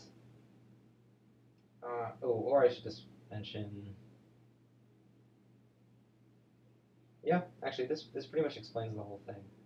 Uh, it doesn't explain what the default is. Actually, that's I should probably explain that. Like, the default in all these cases, like the default for this one.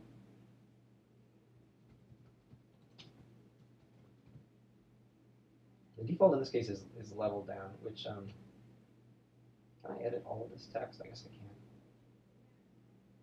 The default in this case is uh, just WebSQL.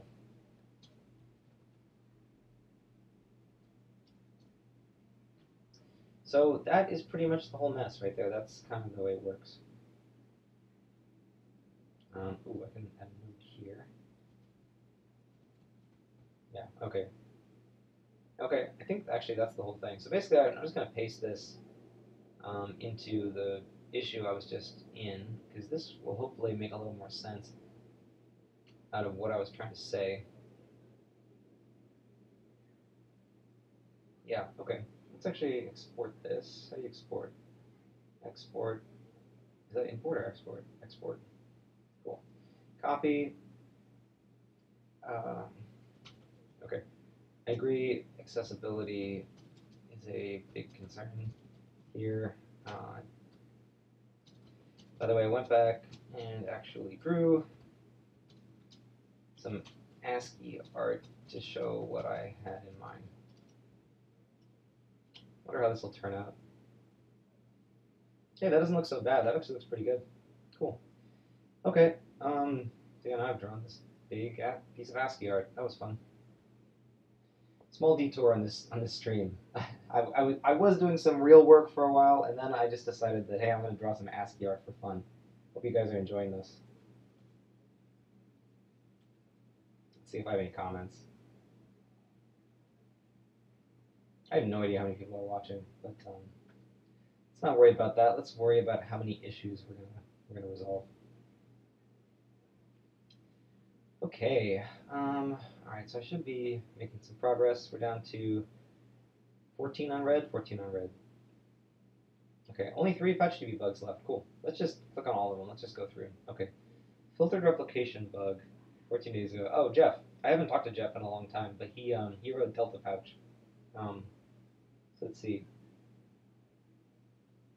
Hmm. Um, let's see. Hmm. Well, he does have steps to reproduce, so let's actually look at his code.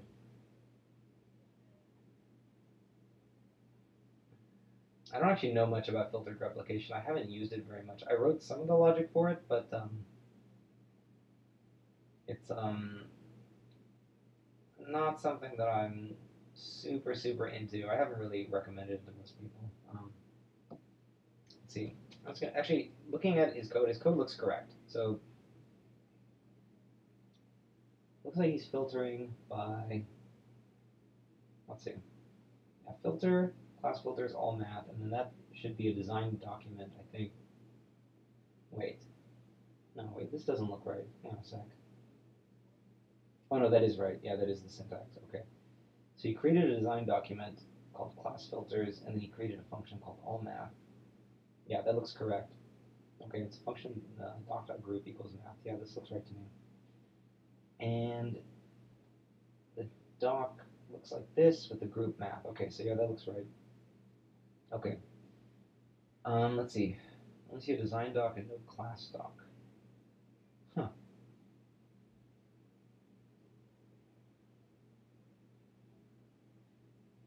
Hmm. Uh, yeah, this definitely looks like a bug. If you could add a test case and ideally even fix it, that would be awesome. Um, again, see, this is this is another case where it's like it's a super edge casey kind of thing. Filtered replication is not something that everybody uses, and also he says it only works with filters, not with views. So it's even it's even an edge case of an edge case. And so like um, you know, if somebody wanted to fix it, they could go in and fix it. But um, I, I almost always tell people not to use filtered replication if possible. And so just because it kind of has like performance implications and um, usually it's easier just to break up your databases into multiple database databases. So uh, in these cases, I usually just recommend that people add, um, like I think I think I would just recommend that he add a, a test case to the test to fix this.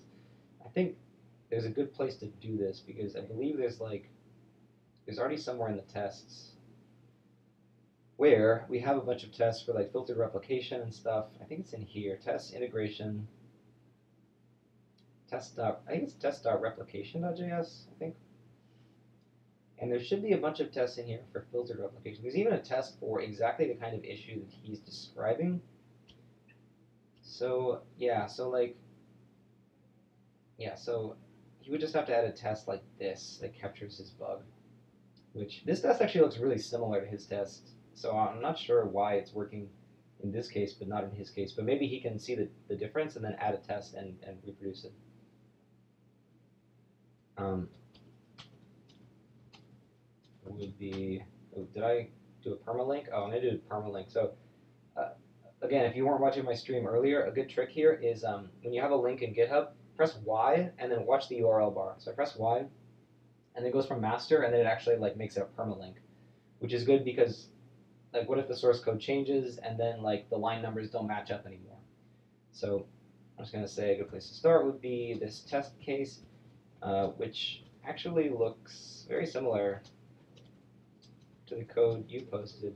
So I'm not sure why it's succeeding in one case but failing in the other. Yeah. And let's see, label it as, it, it clearly seems like a bug. I don't think it's his bug, I think it is our bug. Um, I'm going to say help wanted and needs reproducing, because it does. Okay. Alright, uh, okay. What is this issue? The UA, oh yeah, I opened this issue. Um, I don't think we should be user agent sniffing if we can avoid it. It's a bad practice. Um, okay, well, yeah. I mean, he's right. That's a good point. But is the solution to just uh, have a site that's broken in IE and Safari but works in Chrome Firefox? I suppose in some cases that's okay, Electron, etc. But uh, personally, I, I, um, I tend to prefer fixing all browsers if possible. Because so what this issue is is that um, IE and Safari are really aggressive in caching, like caching GET requests in the case of IE and POST requests in the case of Safari. And so to break that caching, we append a nonce, like we append like a, a random query string parameter to every request.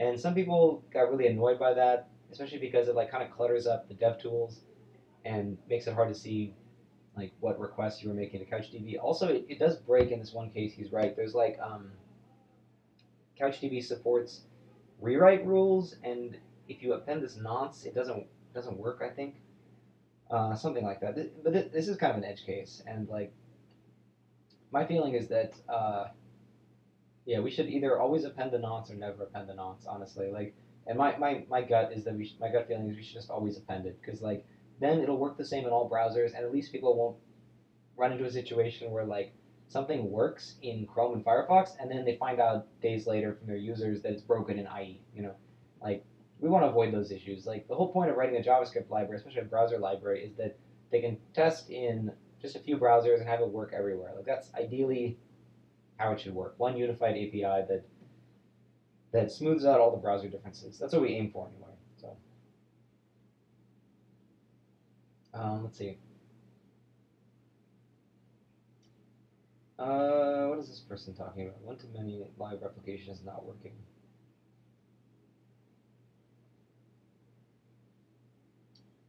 Huh. Hmm. That's an interesting issue. Um, hmm.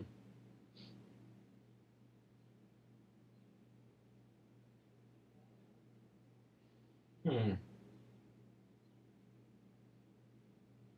That's a really interesting error. Um, hmm. One local database synced with one or more remote databases all work well with one remote, but from two remotes, the live replication is not working. It's funny because I don't see in his code where he's doing uh, multiple replications. I only see one. Um, and enabled CORS, okay. Huh. Um, is it possible you're running into the six to eight um, network request limit that most browsers have? If you see many hanging requests in the DevTools network tab, then that could be the issue. Yeah, because you can't have more than like it depends on the browser, but you can't have more than six or eight network connections going at one time. The browser just disallows it. So that might be what he's running into. It's kind of hard to say. I would say this is another thing that needs it needs reproducing. Like based on the code that he posted, it's not really enough to figure out what's happening. All right, Whew, I'm all out of PouchDB issues. Um, I only have 11 left. Um, see how many people are still on the stream.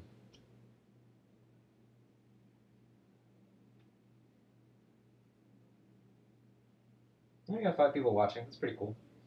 Um, yeah, I gotta admit, I'm, I'm getting pretty tired about now, and I really did want to get to inbox zero, but I don't think I'm to be able to. Um, I might I might look into these remaining issues later. I, I did want to look into this this fruitdown issue on Safari. Local npm, I feel like I want like a solid block of time to work on local npm. Um, at the very least, I could go in there and respond to those people, but I'm starting to get pretty tired. I'm probably just gonna go get something to eat about this time. Um, yeah, that's interesting. He actually filed a bug on WebKit about this. I wonder if he provided steps to reproduce. I'm not authorized to access this bug. Huh. I have never seen this in the WebKit Bugzilla before. I didn't realize that some bugs could be private. I thought I thought it was all public. That's interesting. I wonder if I've ever linked to a bugs a Bugzilla bug from WebKit and someone else wasn't able to see it and I thought they were able to see it. Huh. That's really weird.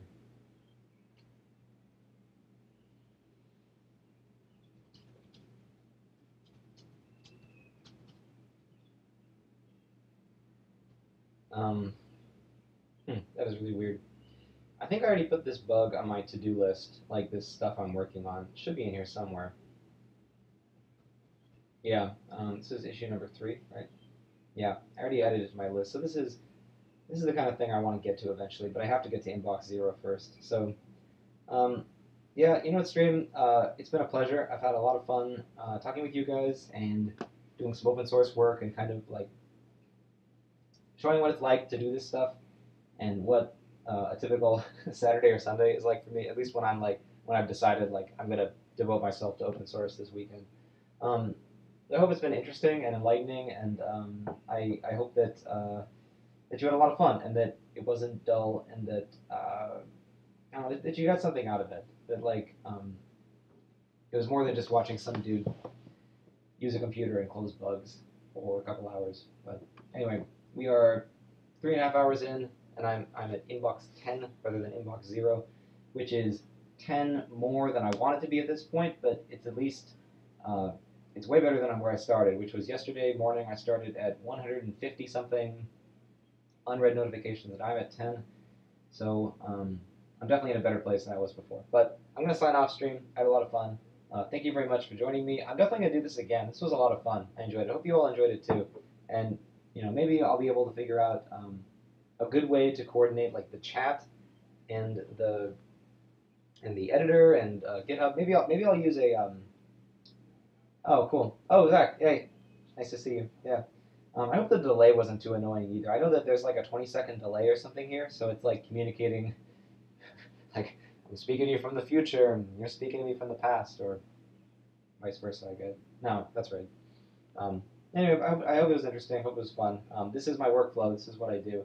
Um, you know, and uh, please do if, if any of you want to take up any of these issues that I looked at, and I was like I just don't have time for it. Like, um, you know, feel free to look into it because a lot of this stuff I think is doable. I mean, there was one issue we looked at where it was like, wow, that person did everything but write the pull request, right? So, perfect case where someone could go in and, and add the pull request from that code. Um, so, I encourage anybody watching this uh, to, to, to get inspired and to go do open source. And you know what? Like, start your own project as well because um, it's not just cool to contribute to other people's projects, it's also cool to start your own.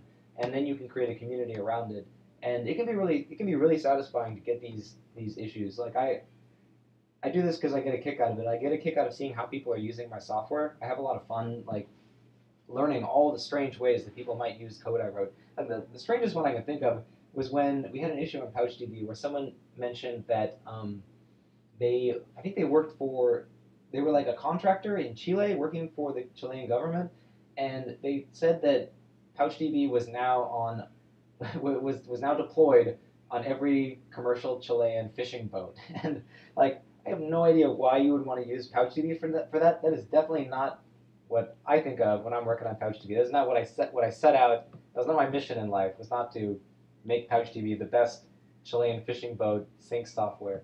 But apparently, someone thought that they should use it that way. That's really cool. I've seen lots of, of, of, of interesting usages of my software, and um, yeah, and when you file bugs and when you file, uh, when you ask questions and when you open pull requests, you are doing a service to the community. You know, like even if it does like add on to the uh, the time that maintainers have to spend going in and like triaging issues and responding to them and stuff, like it's it's very valuable for the community. Many of these issues I didn't really have to look at because it was kind of like someone asked a question, someone else answered it, and or or like posted that they ran into the same issue and provided more details, then the other person said, oh, I worked around it this way, and the other person said, oh, I resolved it that way, and then through this they were able to help themselves, and the maintainer didn't even really have to do anything. That that does happen, you know, it happens frequently.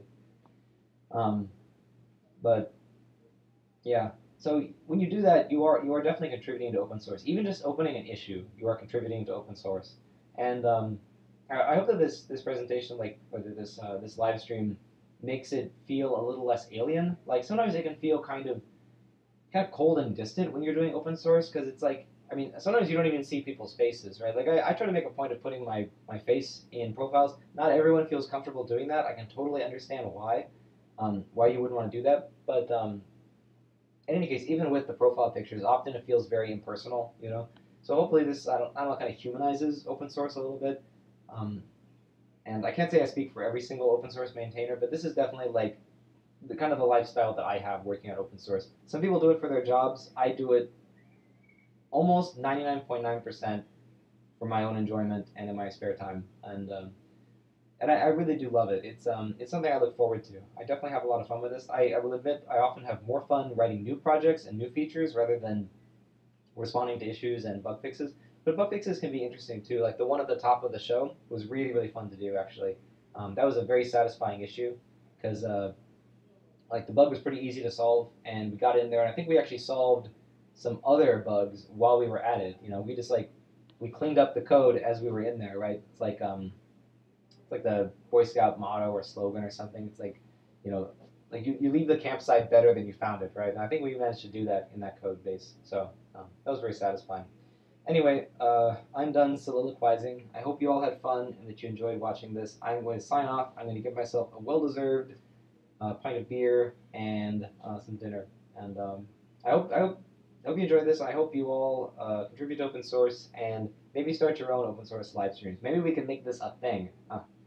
Um, so thanks. Signing off. I had fun. Hope you guys did too. Bye.